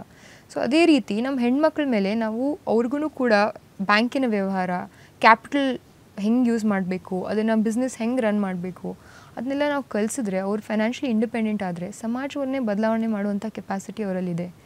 ನಮ್ಮ ದೇಶದಲ್ಲಿ ಲೈಕ್ ಹೆಣ್ಮಕ್ಳು ಅಂತಂದರೆ ಬಹಳ ಲೈಕ್ ಕೇವಲವಾಗಿ ಅವ್ರನ್ನ ನೋಡ್ತಾರೆ. ಮತ್ತು ಇನ್ನೊಂದು ಏನು ಅಂತಂದರೆ ಸೀರಿಯಸ್ನೆಸ್ ಇಲ್ಲ ಮಹಿಳೆಯರಿಗೋಸ್ಕರ. ಜಸ್ಟ್ ದೇವರು, ಪೂಜೆ ಮಾಡ್ತೀವಿ. ನೀವು ಪೂಜೆ ಮಾಡಿಬಿಡಿ ನಮ್ಮನ್ನು. ಜಸ್ಟ್ ರೆಸ್ಪೆಕ್ಟ್ ಮಾಡಿ. That is more than enough ನಾವು ಇಂಡಿಪೆಂಡೆಂಟ್ ಆಗಿದ್ದೀವಿ. ನಾವು ಒಂದು ಡಿಸಿಷನ್ ತೊಗೊಳ್ಳುವಂಥ ಕೆಪಾಸಿಟಿ ನಮ್ಮಲ್ಲೂ ಇದೆ. ಆ ನಂಬಿಕೆನ ನಾವು ಮಹಿಳೆಯರಲ್ಲಿ ಬೆಳೆಸಬೇಕು ಅಂತ ಫೌಂಡೇಶನಲ್ಲಿ ನಾವು ತುಂಬ ಕೆಲಸ ಮಾಡ್ತಾಯಿದ್ದೀವಿ ಸುಮಾರು ಒಂದು ಲಕ್ಷದ ಅರವತ್ತು ಸಾವಿರ ಮಹಿಳೆಯರಿಗೆ ನಾವು ಇವಾಗ ಇನ್ಸೆಪ್ಷನಿಂದ ಇಲ್ಲಿವರೆಗೂ ಹಂಡ್ರೆಡ್ ಕ್ರೋರ್ಸ್ಗಿಂತಲೂ ಹೆಚ್ಚಿಗೆ ಲೋನ್ ಲೆಂಡ್ ಮಾಡಿದ್ದೀವಿ ನಾವು ಅಟ್ ಝೀರೋ ಇಂಟ್ರೆಸ್ಟ್ ರೇಟ್ಸ್ ಹೆಚ್ಚಿಗೆ ಇವಾಗ ಫೋಕಸ್ ನಾವು ಕೊಡ್ತಾ ಇರೋದು ಕ್ವಾಲಿಟಿ ಆಫ್ ಎಜುಕೇಷನ್ ಇಂಪ್ರೂವ್ಮೆಂಟ್ ಮಾಡೋಕ್ಕೆ ಇನ್ ಪಬ್ಲಿಕ್ ಸ್ಕೂಲ್ಸ್ ಗೌರ್ಮೆಂಟ್ ಸ್ಕೂಲ್ಸಲ್ಲಿ ಕ್ವಾಲಿಟಿ ಆಫ್ ಎಜುಕೇಷನ್ ಇಂಪ್ರೂವ್ಮೆಂಟ್ ಮಾಡಬೇಕು ಅನ್ನೋದು ನಮ್ಮದೊಂದು ಆಸೆ ಇದೆ. ಸೊ ಆ ಒಂದು ನೆಕ್ಸ್ಟ್ ಆ ಪ್ರಾಜೆಕ್ಟ್ ಮೇಲೆ ನಾವು ವರ್ಕ್ ಮಾಡಬೇಕು ಅಂತ ಫೌಂಡೇಶನಲ್ಲಿ ಡಿಸೈಡ್ ಮಾಡಿದ್ದೀವಿ ಇಷ್ಟು ದಿನ ನಾವು ಎಕ್ಸ್ಕ್ಲೂಸಿವ್ಲಿ ಮಹಿಳೆಯರ ಜೊತೆ ಅವರ ಆರ್ಥಿಕ ಸಬಲೀಕರಣದಗೋಸ್ಕರ, ಅವರ ಬಿಸ್ನೆಸ್ ಡೆವಲಪ್ಮೆಂಟ್ ಅವರ ಫೈನಾನ್ಷಿಯಲ್ ಡೆವಲಪ್ಮೆಂಟ್ಗೋಸ್ಕರ ನಾವು ವರ್ಕ್ ಮಾಡ್ತಾ ಇದ್ವಿ. ಇವಾಗ ನೆಕ್ಸ್ಟ್ ಗೋಲ್ ಏನು ಇಟ್ಕೊಂಡಿದ್ದೀವಿ ಅಂತ ಅಂದರೆ, ಒಂದು annual status of education report ಅಂತ ಬರುತ್ತೆ ಪ್ರಥಮ್ ಇನ್ಸ್ಟಿಟ್ಯೂಟ್ ಅವರು ಏನು ಹೇಳ್ತಾರೆ ಅಂತಂದರೆ ಇಲ್ಲಿ ಫಿಫ್ತ್ ಸ್ಟ್ಯಾಂಡರ್ಡ್ ಬೆ ಓದ್ತಾ ಇರುವಂಥ ಮಕ್ಕಳಿಗೆ ಇನ್ನೂ ಸೆಕೆಂಡ್ ಅಥವಾ ಥರ್ಡ್ ಸ್ಟ್ಯಾಂಡರ್ಡ್ ಮ್ಯಾಥ್ ಮತ್ತು ಸೈನ್ಸ್ ಪ್ರಾಬ್ಲಮ್ ಸಾಲ್ವ್ ಮಾಡೋಕ್ಕಾಗಲ್ಲ ನಮ್ಮ ದೇಶದಲ್ಲಿ. So we want to become the next super power next super power ಆಗಬೇಕು ಅಂತಂದರೆ you need a strong man power ಆ ಡೆಮೋಗ್ರಾಫಿಕ್ ಡಿವಿಡೆಂಟ್ ನೀವು ಉಪಯೋಗಿಸ್ಬೇಕು ಅಂತಂದರೆ you need a strong educated work you know work force ಅದು ನಮಗೆ ಕ್ವಾಲಿಟಿ ವರ್ಕ್ ಫೋರ್ಸ್ ಇರಲಿಲ್ಲ ಅಂತಂದರೆ ನೀವು ಎಷ್ಟೇ ಜನ ಇದ್ದರೂ ಕೂಡ ಅದು ಉಪಯೋಗ ಆಗಲ್ಲ. So we want to improve education but not in a private school but in public schools so ಅದು ಛತ್ತೀಸ್ಗಢ ಗೌರ್ಮೆಂಟಲ್ಲಿ ಆಲ್ರೆಡಿ ಒಂದು ಪ್ರಾಜೆಕ್ಟ್ ಮಾಡ್ತಾ ಇದ್ದಾರೆ ಸೊ ಅದರ ಮಾಡೆಲ್ ಮೇಲೆ ನಮ್ಮದು ಒಂದು ಪ್ರಾಜೆಕ್ಟ್ ನಾವು ಮಾಡಬೇಕು ಅಂತ ಆ ಒಂದು ನಿಟ್ಟಿನಲ್ಲೂ ಕೂಡ ನಾವು ಕೆಲಸ ಮಾಡ್ತಾ ಇದ್ದೀವಿ. ಆದರೆ will always be focused on improvement of women's rights and financial situation of women Samyukta ಅವರ ಪ್ರತಿ ಮಾತಿನಲ್ಲೂ ಪ್ರತಿ ಹೆಜ್ಜೆಯಲ್ಲೂ ಕೂಡ ಹೆಣ್ಮಕ್ಳ ಮೇಲಿರುವಂತಹ ಕಾಳಜಿ ಖಂಡಿತವಾಗ್ಲೂ ಕಾಣಿಸ್ತಿದೆ. ಮಹಿಳಾ ಸಬಲೀಕರಣಕ್ಕೆ ಸಾಕಷ್ಟು ಕೆಲಸಗಳನ್ನ ಮಾಡ್ತಿದ್ದೀರಾ ಮಾಡಿದ್ದೀರಾ? ಇನ್ನೊಂದಷ್ಟು ಯೋಜನೆಗಳನ್ನ ಹಾಕೊಂಡಿದ್ದೀರಾ? ಎಲ್ಲವೂ ಅಂತ್ಕೊಂಡಾಗ್ಲಿ ಅಂತ ನಾವು ವಿಶ್ ಮಾಡ್ತೀವಿ. ಅಂಡ್ ಸಂಯುಕ್ತ ಅವರು ಈ ರಾಜಕೀಯ ಜರ್ನಿಯ ಜೊತೆಗೆ. So D C C bank director ಆಗಿಯೂ ಕೂಡ ಅಟ್ ಪ್ರೆಸೆಂಟ್ ಕೆಲಸ ಮಾಡ್ತಿದ್ದಾರೆ. ಸೊ ಹೇಗಿದೆ ಆ ಕೆಲಸ? ಹೇಗೆ ಬ್ಯಾಲೆನ್ಸ್ ಮಾಡ್ತಿದ್ದೀರಾ? It's my first thing actually D C C ಬ್ಯಾಂಕಲ್ಲಿ ಇವಾಗ ನಮ್ಮ D C C bank hundred years ಆಯಿತು. In hundred years I am the first elected women director O. There has never been a women director before this who is elected so ಅದಕ್ಕೆ it's like ಇದು ಏನು ಖುಷಿ ಪಡೆಯುವಂಥ ವಿಷಯ ಅಲ್ಲ. ನೂರು ವರ್ಷದಲ್ಲಿ ನಮಗೆ ಒಂದು ವುಮೆನ್ ಡೈರೆಕ್ಟರ್ ಇಲ್ಲ ಅಂತಂದರೆ to a institution that lends to lakhs together women it is ಒಂದೇನು ಒಂಥರ ಅದು ನಮಗೆ ನಾವು ಯೋಚನೆ ಮಾಡಬೇಕು ಯಾರು ಯಾಕೆ ಈ ರೀತಿ ಆಗ್ತಾ ಇದೆ ಅಂತ. ಆದರೆ ಬ್ಯಾಂಕ್ ಅಂತ ಅಂದರೆ ನಮ್ಮ ಡಿ ಸಿ ಸಿ ಬ್ಯಾಂಕ್ ಬಗ್ಗೆ ಹೇಳಬೇಕು ಅಂತಂದರೆ, ಮೋಸ್ಟ್ಲಿ ನಾವು ಅಗ್ರಿಕಲ್ಚರಲ್ ಲೆಂಡಿಂಗ್ ಮಾಡ್ತೀವಿ. ಫಿಫ್ಟಿ ಪರ್ಸೆಂಟ್ಗಿಂತಲೂ ಹೆಚ್ಚು ಏನು ನಮ್ಮ ಲೆಂಡಿಂಗ್ ಇದೆ. ಎಲ್ಲ ರೈತಾಪಿ ಜನರಿಗಿದೆ. ಸೊ ಇದರಿಂದ ನಮಗೆ ರೈತರಿಗೆ ತುಂಬ ಲೈಕ್ ಸಂಪರ್ಕ ಸಿಗುತ್ತೆ. ನಾನು T A P C M S ಇಂದ ಡೈರೆಕ್ಟರ್ ಆಗಿರೋದು taluka primary agricultural marketing society ಅಲ್ಲಿ ನಾನು ಫಸ್ಟ್ ಡೈರೆಕ್ಟರ್ ಆಗಿ ಅಲ್ಲಿಂದ ಡಿ ಸಿ ಸಿ ಬ್ಯಾಂಕ್ ಎಲೆಕ್ಷನ್ಗೆ ನಾನು ಕಂಟೆಸ್ಟ್ ಮಾಡಿರೋದು. ಸೊ ಇಲ್ಲಿ ಒಂದು ಕೋಪ್ರೇಟಿವ್ ಸಿಸ್ಟಮಲ್ಲಿ ಹೆಂಗಿದೆ ಅಂತಂದರೆ ಇಟ್ಸ್ ಬೇಸ್ಡ್ ಆನ್ ಅಂಡರ್ಸ್ಟ್ಯಾಂಡಿಂಗ್ ನನಗೆ ಕೋಪ್ರೇಟಿವ್ ಸಿಸ್ಟಮ್ ತುಂಬ ಇಷ್ಟ. ಯಾಕಂತಂದರೆ ಇಟ್ ಈಸ್ ಎಲ್ಲರ ಏಳಿಗೆಗೋಸ್ಕರ ಎಲ್ಲರ, ಎಲ್ಲರನ್ನೂ ಜೊತೆಯಾಗಿ ತೆಗೆದುಕೊಂಡು ಹೋಗ್ತಾ ಇರುವಂತಹ ಒಂದು ವ್ಯವಸ್ಥೆ ಇದು. ಸೊ ಡಿ ಸಿ ಸಿ ಬ್ಯಾಂಕಲ್ಲಿ ನಾವು ಇವತ್ತು ಈ ಸರಿ ನಾವು three thousand two hundred crores ನಮ್ಮದು ವರ್ಕಿಂಗ್ ಕ್ಯಾಪಿಟಲ್ ಇದೆ. ಇನ್ನು ಬರುವಂಥ ದಿನಮಾನಗಳಲ್ಲಿ ಇನ್ನೂ ಹೆಚ್ಚಿಗೆ ಮಾಡಬೇಕು ಅನ್ನೋದು ನಮ್ಮ ಲೈಕ್ ಯೋಚನೆ. ಇನ್ನೊಂದು ಬರುವಂಥ ನೆಕ್ಸ್ಟ್ ಫೈನಾನ್ಷಿಯಲ್ ಇಯರ್ ಈ ಮಾರ್ಚಲ್ಲಿ mostly be having another two hundred to three hundred crores three thousand five hundred to three thousand eight hundred crores touch ಮಾಡಬೇಕು ಅನ್ನೋದು ನಮ್ಮ ಆಸೆ. ಜೊತೆ ಜೊತೆಯಾಗಿ ನಾವು ರೈತರಿಗೆ ಈ ಸಾಲ ಮನ್ನಾ ಆಗುತ್ತಲ್ಲ. ಅದರಲ್ಲಿನೂ ಕೂಡ ಡಿ ಸಿ ಸಿ ಬ್ಯಾಂಕ್ ಮೂಲಕನೇ ಆಗೋದು ಅದು ನಮ್ಮ ಕಡೆ. ಯಾಕಂತಂದರೆ ಫಸ್ಟ್ ನ್ಯಾಷನಲೈಸ್ ಬ್ಯಾಂಕ್ಸ್ ಆದಮೇಲೆ ಕೋಪರೇಟಿವ್ ಬ್ಯಾಂಕ್ಸಲ್ಲಿನೇ ಸಾಲ ಮನ್ನಾ ಆಗೋದು. One of the highest rates ಸಾಲ ಮನ್ನಾ ಆಗಿರೋದು ಬಿಜಾಪುರ ಜಿಲ್ಲೆಗೂ ಆ, ಆ ಬಿಜಾಪುರ ಜಿಲ್ಲೆಗೂ ಆ ಕೀರ್ತಿ ಸಲ್ಲುತ್ತೆ. ಐ ಥಿಂಕ್ ಇಡೀ ಸ್ಟೇಟಲ್ಲಿ we had the second highest loan waiver amount ರೈತರಿಗೆ ಬಂದಿರೋದು. ಅದು ಯಾಕೆ ಬಂದಿದೆ ಅಂತಂದರೆ ಅಷ್ಟು ಲೆಂಡಿಂಗ್ ಆಗಿದೆ ಫಸ್ಟು ಫಸ್ಟ್ ಲೆಂಡಿಂಗ್ ಆದ್ರೆ ಅದನ್ನು ಮುಂದೆ ಇದು ಬರೋದು. ಸೊ ಆ ನಿಟ್ಟಿನಲ್ಲಿ ನಾವು ಜಾಸ್ತಿ ಕೆಲಸ ಮಾಡ್ತಾ ಇದ್ದೀವಿ. ಅದ್ರ ಜೊತೆ ಜೊತೆಯಾಗಿ ರೈತರಿಗೆ ಹೆಚ್ಚಿನ ಸವಲತ್ತು, ಆರ್ಥಿಕ ಸವಲತ್ತುಗಳನ್ನು ನಾವು ಕಡಿಮೆ ಬಡ್ಡಿ ದರದಲ್ಲಿ ಕೊಡಬೇಕು ಅಂತ ಪ್ರಯತ್ನ ಮಾಡ್ತಾ ಇದ್ದೀವಿ. ಸಮಾಜದಲ್ಲಿ ಪ್ರಾಬ್ಲಮ್ ಏನಿದೆ ಅಂತಂದರೆ ಅರ್ಬನ್ ಏರಿಯಾಸಲ್ಲಿ ಜಾಸ್ತಿ ಕ್ಯಾಪಿಟಲ್ ಇದೆ. ಇಲ್ಲಿ ಲೋನ್ ಈಸಿಯಾಗಿ ಸಿಗುತ್ತೆ. ಅಥವಾ ಹೆಚ್ಚು ಕಡಿಮೆ ಸಿಗುತ್ತೆ ನಿಮಗೆ. ಎಲ್ಲರಿಗೂ ಕೂಡ ಬ್ಯಾಂಕಿಂದ ಲೋನ್ ಸಿಗೋದು ಇಟ್ಸ್ ಅ ಪಾಸಿಬಿಲಿಟಿ ಆದರೆ ಹಳ್ಳಿಗಳಲ್ಲಿ ಏನಾಗ್ತಾ ಇದೆ, ರೈತರಿಗೆ ಯಾರೂ ಲೋನ್ ಲೆಂಡ್ ಮಾಡಲ್ಲ. Whether it is commercial banks nationalise banks ಅವ್ರು ಏನು ಮಾಡ್ತಾರೆ ಅಂತಂದರೆ ಜಾಸ್ತಿ ಫೋಕಸ್ ಇನ್ಕಮ್ ರಿಚ್ ಏರಿಯಾಸ್ ಮೇಲೆ ಇಡ್ತಾರೆ. ಸೊ ಅದಕ್ಕೆ ಆರ್ಥಿಕವಾಗಿ ರೈತರಿಗೆ ಏನಾದರೂ ದುಡ್ಡು ಬೇಕು ಅಂತಂದರೆ ಅವ್ರು ಎರಡರ ಬಡ್ಡಿ, ಮೂರರ ಬಡ್ಡಿಯಲ್ಲಿ ಬಾರೋ ಮಾಡ್ತಾರೆ. ದ ಕಾಸ್ಟ್ ಆಫ್ ಲೆಂಡಿಂಗ್ ತುಂಬ ಹೈ ಇದೆ ಹಳ್ಳಿಗಳಲ್ಲಿ. ಸೊ ಅದಕ್ಕೆ ಅದನ್ನು ಕಡಿಮೆ ಮಾಡಬೇಕು ಅಂತಂದರೆ ಹೆಚ್ಚು financial institutions formal financial institutions rural ಏರಿಯಾಸಲ್ಲಿ entry ಆಗಬೇಕು. ಹಳ್ಳಿ ವಾತಾವರಣಗಳಲ್ಲಿ ಇನ್ನೂ ನಮ್ಮ ಆರ್ಥಿಕವಾಗಿ ಸಬಲರಾಗಿರುವಂತಹ ಫೈನಾನ್ಷಿಯಲ್ ಇನ್ಸ್ಟಿಟ್ಯೂಷನ್ಸ್ ಅಲ್ಲಿ ಬರಬೇಕು.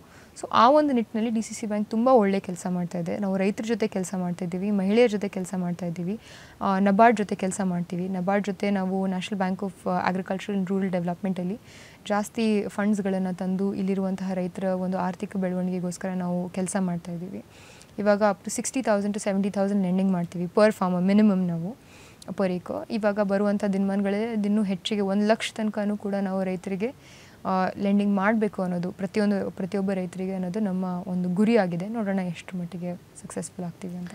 ಒಬ್ಬರು ಎಜುಕೆ ಎಜುಕೇಟೆಡ್ ಒಬ್ಬರು ಯಂಗ್ಸ್ಟರ್ ಪಾಲಿಟಿಕ್ಸ್ಗೆ ಬಂದರೆ ಎಷ್ಟು ಪ್ಲಸ್ ಪಾಯಿಂಟ್ ಅನ್ನೋದಕ್ಕೆ ಸಾಕ್ಷಿ ಸಂಯುಕ್ತ ಅವರು. ಅವರು ಎಷ್ಟು ಯೋಚನೆ ಮಾಡಿದ್ದಾರೆ ಎಷ್ಟು ಯೋಜನೆಗಳನ್ನು ಹಾಕ್ಕೊಂಡಿದ್ದಾರೆ ಹೇಗೆ ಬದಲಾವಣೆ ತರಬೇಕು ಅನ್ನೋದ್ರ ಬಗ್ಗೆ ಕೂಡ ನೀವು ಯೋಚನೆ ಮಾಡಿದ್ದೀರಾ? ಸೊ ಯಂಗ್ಸ್ಟರ್ಸ್ ಮತ್ತು ಎಜುಕೇಟೆಡ್ ಪಾಲಿಟಿಕ್ಸಿಗೆ ಬರಬೇಕು ಅನ್ನೋದು ಎಲ್ಲರ ಮಾತು. ಬಟ್ ಇತ್ತೀಚೆಗೆ ಬಹಳ ಜನ ಯಂಗ್ಸ್ಟರ್ಸ್ ಪಾಲಿಟಿಕ್ಸ್ ಅಂದರೆ ಸ್ವಲ್ಪ ದೂರ ಹೋಗುವಂಥ ಮನಸ್ಥಿತಿಯಲ್ಲಿದ್ದಾರೆ. ನಾನು ಇದಕ್ಕೆ ಮುಂಚೆ ಹೇಳ್ತಾ ಇದ್ದೆ ಎಷ್ಟೋ ಜನ ಯಂಗ್ಸ್ಟರ್ಸ್ ಏಯ್ಟೀನ್ ಇಯರ್ಸ್ ಆದರೂ ವೋಟರ್ ಐ ಡಿ ಮಾಡಿಸ್ಕೊಂಡೇ ಇರೋರು ಬಹಳಷ್ಟು ಜನ ಇದ್ದಾರೆ. ಏನು ಹೇಳ್ತೀರಾ ಅಂಥವ್ರಿಗೆ? I feel like it is also political decision ನಾನು ಪೊಲಿಟಿಕಲ್ ಇರಲ್ಲ ಅನ್ನೋದು that is also a political choice ಯಾರು ನಾನು ನ್ಯೂಟ್ರಲ್ ಆಗಿದ್ದೀನಿ ಅಂತ ಕಣ್ಣು ಮುಂದೆನೇ ಜನ ಸಾಯ್ತಾ ಇರುವಾಗ ನಾನು ನ್ಯೂಟ್ರಲ್ ಆಗಿದ್ದೀನಿ ಅಂತ ಯಾರು ಹೇಳ್ತಾರಲ್ಲ ಅವ್ರಿಗೇ ಎಲ್ಲರಿಗಿಂತಲೂ ವರ್ಸ್ಟ್ ಪ್ಲೇಸ್ ಆ ಹೆಲ್ಲಲ್ಲಿ ರಿಸರ್ವ್ ಆಗಿರೋದು ಅಂತ ಅವ್ರು ಹೇಳ್ತಾರೆ. ಸೊ ಅದಕ್ಕೆ ನಾನೇನು ಹೇಳೋಕ್ಕೆ ಇಷ್ಟಪಡ್ತೀನಿ ಅಂತಂದರೆ ಎಲ್ಲರೂ ಕೂಡ ನೀವು ಡಿಸಿಷನ್ ತೊಗೊಂಡಿರುವಂತಹ ಪ್ರತಿಯೊಂದು ಡಿಸಿಷನ್ನು ಕೂಡ ಇವಾಗ ನಾನು ವೋಟ್ ಮಾಡಲ್ಲ ಅಥವಾ ನನಗೆ ರಾಜಕೀಯ ಇಷ್ಟ ಇಲ್ಲ ಅಲ್ಲ ರಾಜಕೀಯ ಗಲೀಜಾಗಿದೆ ಒಪ್ಕೊತೀನಿ. ಅದನ್ನ ಕ್ಲೀನ್ ಮಾಡೋರು ಯಾರು ಮತ್ತೆ? ಅದು ಹಾಗೆ ಇರಬೇಕಾ? ಯಾವ ಒಂದು ರಾಜಕಾರಣ, ಪ್ರತಿಯೊಂದು ಜೀವನದ ಪ್ರತಿಯೊಂದು ಅಂಶವನ್ನು ಮುಟ್ಟುವಂತಹ ಒಂದು ರಾಜಕಾರಣ. ಅದರಿಂದ ನೀವು ದೂರರಾಗಿರ್ತೀರ? ಯಾಕಂತಂದರೆ ಅದು ಗಲೀಜಾಗಿದೆ ಅಂತಂದರೆ ಅದು ಯಾವತ್ತೂ ಸುಧಾರಣೆ ಆಗಲ್ಲ. ಸುಧಾರಣೆ ಆಗಬೇಕು ಅಂತ ಸುಧಾರಣೆ ಆಗಬೇಕು ಅನ್ನೋದೇ ನಿಮ್ಮ ಇಚ್ಛೆ ಇತ್ತು ಅಂತಂದರೆ ನೀವು ಅದರಲ್ಲಿ ಭಾಗವಹಿಸಬೇಕು ಅನ್ನೋದು ನನ್ನ ಒಂದು ಅಭಿಪ್ರಾಯ. ಅಟ್ಲೀಸ್ಟ್ ನೀವು ಪಾಲಿಟಿಕ್ಸ್ ಎಂಟ್ರ್ ಆಗಬೇಕು ಅಂತಲೇ ಇಲ್ಲ. ಆದರೆ it is excellent I want more young people like minded people ಜೊತೆ ವರ್ಕ್ ಮಾಡೋಕ್ಕೆ ಈಸಿ ಆಗುತ್ತೆ. ಸಿಕ್ಸ್ಟಿ ಪ sixty year old set in the way politicians ಜೊತೆ work ಮಾಡೋಕ್ಕಿಂತಲೂ twenty five thirty year old young people ಅಥವಾ thirty five forty year old people who are ನಿಮ್ಮ ಅವ್ರದ್ದು thinking similar ಇದ್ದವ್ರ ಜೊತೆ ಕೆಲಸ ಮಾಡೋದು ಈಸಿ ಸೊ ಅದಕ್ಕೆ I want to tell young people that ನೀವು if you choose not to be political ನೀವೇನು ಮಾಡ್ತಾ ಇದ್ದೀರಾ ಅಂತಂದರೆ ನೀವು ಸಿಸ್ಟಮ್ನ ಇನ್ನೂ ಕೆಟ್ಟ ಸ್ಥಾನಕ್ಕೆ ಹೋಗೋಕ್ಕೆ ಅವಕಾಶ ಮಾಡಿಕೊಡ್ತಾ ಇದ್ದೀರಾ. ಸೊ ಅದಕ್ಕೆ ನನ್ನ ಒಂದು ಒಪಿನಿಯನ್ ಏನು ಅಂತಂದರೆ ನೀವು ಪಾಲಿಟಿಕ್ಸಿಗೆ ಬರಬೇಕು. ಯಾಕಂತ ಅಂದರೆ ಪಾಲಿಟಿಕ್ಸ್ ಎಲ್ಲ ಅಂಶಗಳನ್ನು ಟಚ್ ಮಾಡುತ್ತೆ. ಇವಾಗ ನಿಮ್ಮ ಜೀವನ ಮುಂದೆ ಒಳ್ಳೆಯದಾಗಿರಬೇಕು ಅಂತಂದ್ರೂ ಪಾಲಿಟಿಕ್ಸ್ ಇಂಪ್ರೂವ್ಮೆಂಟ್ ಆಗಬೇಕು. ಯಾಕಂತಂದರೆ ನೀವು ಅಂದ್ಕೊಳ್ತಿರ್ಬೋದು ನನಗೇನು ಎಫೆಕ್ಟ್ ಆಗಲ್ಲ ಪಾಲಿಟಿಕ್ಸಿಂದ ಅಂತ. ಆದರೆ I don't think that's true ಟ್ಯಾಕ್ಸಿಂದ ಹಿಡ್ಕೊಂಡು ಗೌರ್ಮೆಂಟಲ್ ಪಾಲಿಸೀಸಿಂದ ಹಿಡ್ಕೊಂಡು ಇಲ್ಲಿರುವಂತಹ ಲೆಂಡಿಂಗ್ ರೇಟ್ಸ್ ಹೌಸಿಂಗ್ ಮಾ ಹೌಸ್ ಹೌ ಇವಾಗ ನೀವು ಮನೆ ತೊಗೊತೀರ ಅಂತಂದ್ರೆ ಅದರ ಲೆಂಡಿಂಗ್ ರೇಟ್ನೂ ಕೂಡ ಪಾಲಿಟಿಕ್ಸಿಗೆ ಕನೆಕ್ಟೆಡ್ ಇದೆ. ಎಲ್ಲೂ ಕೂಡ ಪಾಲಿಟಿಕ್ಸಿಗೆ ಕನೆಕ್ಟೆಡ್ ಇದೆ. ಸೊ ಅದರಲ್ಲಿ ನೀವು ಭಾಗವಹಿಸಿದ್ರೆ ಸಿಸ್ಟಮ್ ಆಟೋಮ್ಯಾಟಿಕ್ಲಿ ಇಂಪ್ರೂವ್ಮೆಂಟ್ ಆಗುತ್ತೆ. ಯಾವಾಗ ಪ್ರಜ್ಞಾವಂತ ಪ್ರಜೆಗಳು ರಾಜಕೀಯಕ್ಕೆ ರಾಜಕೀಯ ಬಗ್ಗೆ ಗಮನ ಹರಿಸ್ತಾರೋ ನಮ್ಮ ದೇಶನೇ ಬದಲಾವಣೆ ಆಗ್ತೈತೆ ಬಾ ಆಗುತ್ತೆ ಅಂತ ನನ್ನ ಒಂದು ಅಭಿಪ್ರಾಯ. ಒಂದು ಎರಡನೇದು I feel like young people system ಒಳಗಡೆ ಬರಬೇಕು. ಬಂದರೆ hundred year old two hundred year old absolute ಸಿಸ್ಟಮ್ಸ್ನ ನಾವು ಬದಲಾವಣೆ ಮಾಡೋಕ್ಕೆ ನಮಗೂ ಈಸಿ ಆಗುತ್ತೆ. ಗೌರ್ಮೆಂಟಲ್ಲಿ ಒಂದು ಪ್ರೊಸೀಜರ್ ಇದೆ. ಎ ಟು ಬಿ ರೀಚ್ ಮಾಡಬೇಕು ಅಂತಂದರೆ ಇಲ್ಲಿಂದ ಇಲ್ಲಿಗೆ ಹೋಗಬೇಕು ಅಂತಂದರೆ ಹಿಂಗೆ ಬರ್ತಾರೆ ಅವರು ಇಟ್ ಈಸ್ ನಾಟ್ ನೆಸಸರಿ ಇಲ್ಲಿಂದ ಇಲ್ಲಿಗೆ ಡೈರೆಕ್ಟಾಗಿ ಹೋಗ್ಬೋದು. ಸಿಂಪ್ಲಿಸಿಟಿ ಬೇಕು ಅಂತಂದರೆ ಸಿಂಪ್ಲಿಫೈ ಮಾಡಬೇಕು ಅಂತಂದರೆ ಹೆಚ್ಚಿನ ಜನ ಆ ಸಿಂಪ್ಲಿಫಿಕೇಷನ್ಗೆ ಫೇವರ್ ಆಗಿರಬೇಕು. ಅದು ಯಾವಾಗ ಆಗುತ್ತೆ ಅಂತ ಅಂದರೆ ಹೊಸ ಥಿಂಕಿಂಗಿಂದ ಇರೋರು ಈ ಸಿಸ್ಟಮ್ ಒಳಗಡೆ ಬರಬೇಕು. So I feel young people should definitely enter politics ಮತ್ತು ನೀವು ನ್ಯೂಟ್ರಾಲಿಟಿ ಮೇಂಟೈನ್ ಮಾಡ್ತಾ ಇದ್ದರೆ ಒಂದು ಸ್ಟೋರಿ ಇದೆ, ನೀರು ಅಂತ ಒಬ್ಬ ರಾಜ ಇದ್ದ ಅಂತೆ ಅವನೇನು ಮಾಡ್ತಾ ಇದ್ದ ಅಂದರೆ ಒಂದು ಟೈಮಿಗೆ ಅವನಿಗೆ ಒಂದು ಪಾರ್ಟಿ ಮಾಡೋದಿತ್ತಂತೆ. ಈ wanted to host a party ಆದರೆ ಲೈ ಆಯಿಲ್ ಇರಲಿಲ್ವಂತೆ. ಸೊ ಅದಕ್ಕೆ ಆಯಿಲು ಮತ್ತು ಲ್ಯಾಂಪ್ ಇರದೇ ಇರೋ ಕಾರಣ ಅವನು ಜೈಲಲ್ಲಿರುವಂತಹ ಎಲ್ಲ ಏನು ಪ್ರಿಸ್ನರ್ಸ್ ಇದ್ದರು ಅವ್ರನ್ನ ತಂದುಬಿಟ್ಟು ಸುಟ್ ಸುಟ್ಟನಂತೆ ಅವನು. ಆ ಬೆಳಕಿನಲ್ಲಿ ಎಷ್ಟೋ ಜನ ಪಾರ್ಟಿ ಮಾಡಿದ್ರಂತೆ. ಪಾರ್ಟಿ ಮಾಡಿ ಅಲ್ಲಿ ಊಟ ಮಾಡೋದು ಎಂಜಾಯ್ ಮಾಡೋದು ಎಲ್ಲ ಮಾಡಿ ಹೋದ್ರಂತೆ. So P. ಸಾಯಿರಾಮ್ ಅವರು ಒಂದು ಡಾಕ್ಯುಮೆಂಟ್ರಿ ಮಾಡ್ತಾರೆ ನೀರೋಸ್ ಗೆಸ್ ಅಂತ. ಅದರಲ್ಲಿ ಅವ್ರು ಕೇಳೋ ಪ್ರಶ್ನೆ ಏನು ಅಂತ ಅಂದರೆ, ಇದರಲ್ಲಿ ಕೆಟ್ಟವನು, ಆ ರಾಜನೋ ಅಥವಾ ಅಲ್ಲಿ ಬಂದು ಕಣ್ಮುಂದೆನೇ ಜನ ಸುಡ್ತಿರೋದನ್ನು ನೋಡಿ ಆರಾಮಾಗಿ ತಿಂದು ಹೋದವರು ಅಂತ ಅವ್ರು ಕೇಳ್ತಾರೆ. So that is the question ನೀವು ಯಾರು ಆಗ್ತೀರಾ? ಸಿಸ್ಟಮನ್ನು ನೀವು ಬದಲಾವಣೆ ಮಾಡೋರು ಆಗ್ತೀರಾ? ಅಥವಾ ನಿಮ್ಮ ಕಣ್ಮುಂದೆ ನೀವು ತೊಗೊಳ್ತಾ ಇರುವಂಥ ಒಂದು ಡಿಸಿಷನಿಂದ ಹಲವಾರು ಜೀವನಗಳು ಎಷ್ಟೋ ಕಷ್ಟದಲ್ಲಿ ಹೋಗ್ತಾ ಇದೆ. ಅದನ್ನು ನೋಡಿಕೊಂಡು ಸುಮ್ಮನೆ ಇರೋರು ಆಗ್ತೀರಾ? I think that is a choice before you great so finally ಬಹಳ ಚಿಕ್ಕ ವಯಸ್ಸಿಗೆ ಯಂಗ್ ಏಜಲ್ಲೇ ಪಾಲಿಟಿಕ್ಸ್ ಎಂಟ್ರಿ ಆಗ್ತಿದ್ದೀರಾ? ಒಂದಷ್ಟು ಬದಲಾವಣೆ ತರಬೇಕು ಅಂತ ಅಂದ್ಕೊಂಡಿದ್ದೀರಾ? ಟಿಕೆಟ್ ಆಕಾಂಕ್ಷಿಯೂ ಆಗಿದ್ದೀರಾ? ಸೊ ಫೈನಲಿ ನಿಮ್ಮ ಕ್ಷೇತ್ರದ ಜನರಿಗೆ ಏನು ಹೇಳಕ್ಕೆ ಬಯಸ್ತೀರಾ? ಐ ಥಿಂಕ್ ನಮ್ಮ ಕ್ಷೇತ್ರದ ಜನರಿಗೆ ನಾನು ಏನು ಹೇಳಕ್ಕೆ ಬಯಸ್ತೀನಿ ಅಂತಂದರೆ, ಒಬ್ಬ ಒಳ್ಳೆ ರಾಜಕಾರಣನ ನೀವು ಆಯ್ಕೆ ಮಾಡ್ಕೊಳ್ಳಿ. ಯಾರು ನಿರಂತರವಾಗಿ ನಿಮಗೋಸ್ಕರ ದುಡಿತಾರೋ, ನಿಮ್ಮ ಮಕ್ಕಳ ಭವಿಷ್ಯದಗೋಸ್ಕರ ದುಡಿತಾರೋ, ಅಂಥವ್ರನ್ನ ನೀವು ಆಯ್ಕೆ ಮಾಡ್ಕೊಳ್ಳಿ ಅನ್ನೋದು ನನ್ನ ಒಂದು ಸಂದೇಶ. ಎರಡನೇದೇನು ಅಂತಂದರೆ ಸಿಸ್ಟಮ್ ಬದಲಾವಣೆ ಆಗಬೇಕು, ರಾಜಕಾರಣ ಬದಲಾವಣೆ ಆಗಬೇಕು ಅಂತಂದರೆ ಜನನೂ ಬದಲಾವಣೆ ಆಗಬೇಕು. ಜನರ ಬೇಡಿಕೆಗಳಲ್ಲೂ ಕೂಡ ಬದಲಾವಣೆ ಇರಬೇಕು. ಅವ್ರಿಗೆ ಬರೀ ಇಷ್ಟ ಆಯಿತು ಎಲೆಕ್ಷನ್ ಟೈಮಲ್ಲಿ ಬಂದುಬಿಟ್ಟು ಹೋದರೆ, ಅಥವಾ ದುಡ್ಡು ದುಡ್ಡು ಕೊಟ್ಬಿಟ್ರೆ ಅದಾಗುತ್ತೆ ಅಂತ, ಆ ಒಂದು ಯೋಚನೆ ಎಷ್ಟು ಜನ, ಎಷ್ಟು ದಿನ ಜನರಲ್ಲಿರುತ್ತೆ ಅಷ್ಟು ದಿನ ರಾಜಕಾರಣಗಳನ್ನು ಬದಲಾವಣೆ ಆಗೋದು ಡಿಫಿಕಲ್ಟ್ ಆಗುತ್ತೆ. ಸೊ ಅದಕ್ಕೆ ನನಗೆ ನನ್ನ ಕ್ಷೇತ್ರದಂತ ಅಷ್ಟೇ ಅಲ್ಲ, ಎಲ್ಲ ಜನರಿಗೆ ನನ್ನ ಒಂದು ಕಳಕಳಿಯ ಮನವಿ ಏನು ಅಂತ ಅಂದರೆ ನಿಮಗೋಸ್ಕರ ದುಡಿಯುವಂತಹ ರಾಜಕಾರಣಿಗೆ ಒಂದು ಅವಕಾಶ ಮಾಡಿಕೊಡಿ. ಯಾರು ನಿರಂತರವಾಗಿ ಸ್ವಚ್ಛ ಮನಸ್ಸಿನಿಂದ ಯಾರಾದರೂ ಪಾಲಿಟಿಕ್ಸಲ್ಲಿ ಬರ್ತಿ, ಬರ್ತೀನಿ ಅಂದರೆ ನಗ್ತಾರೆ ಅವ್ರ ಮೇಲೆ.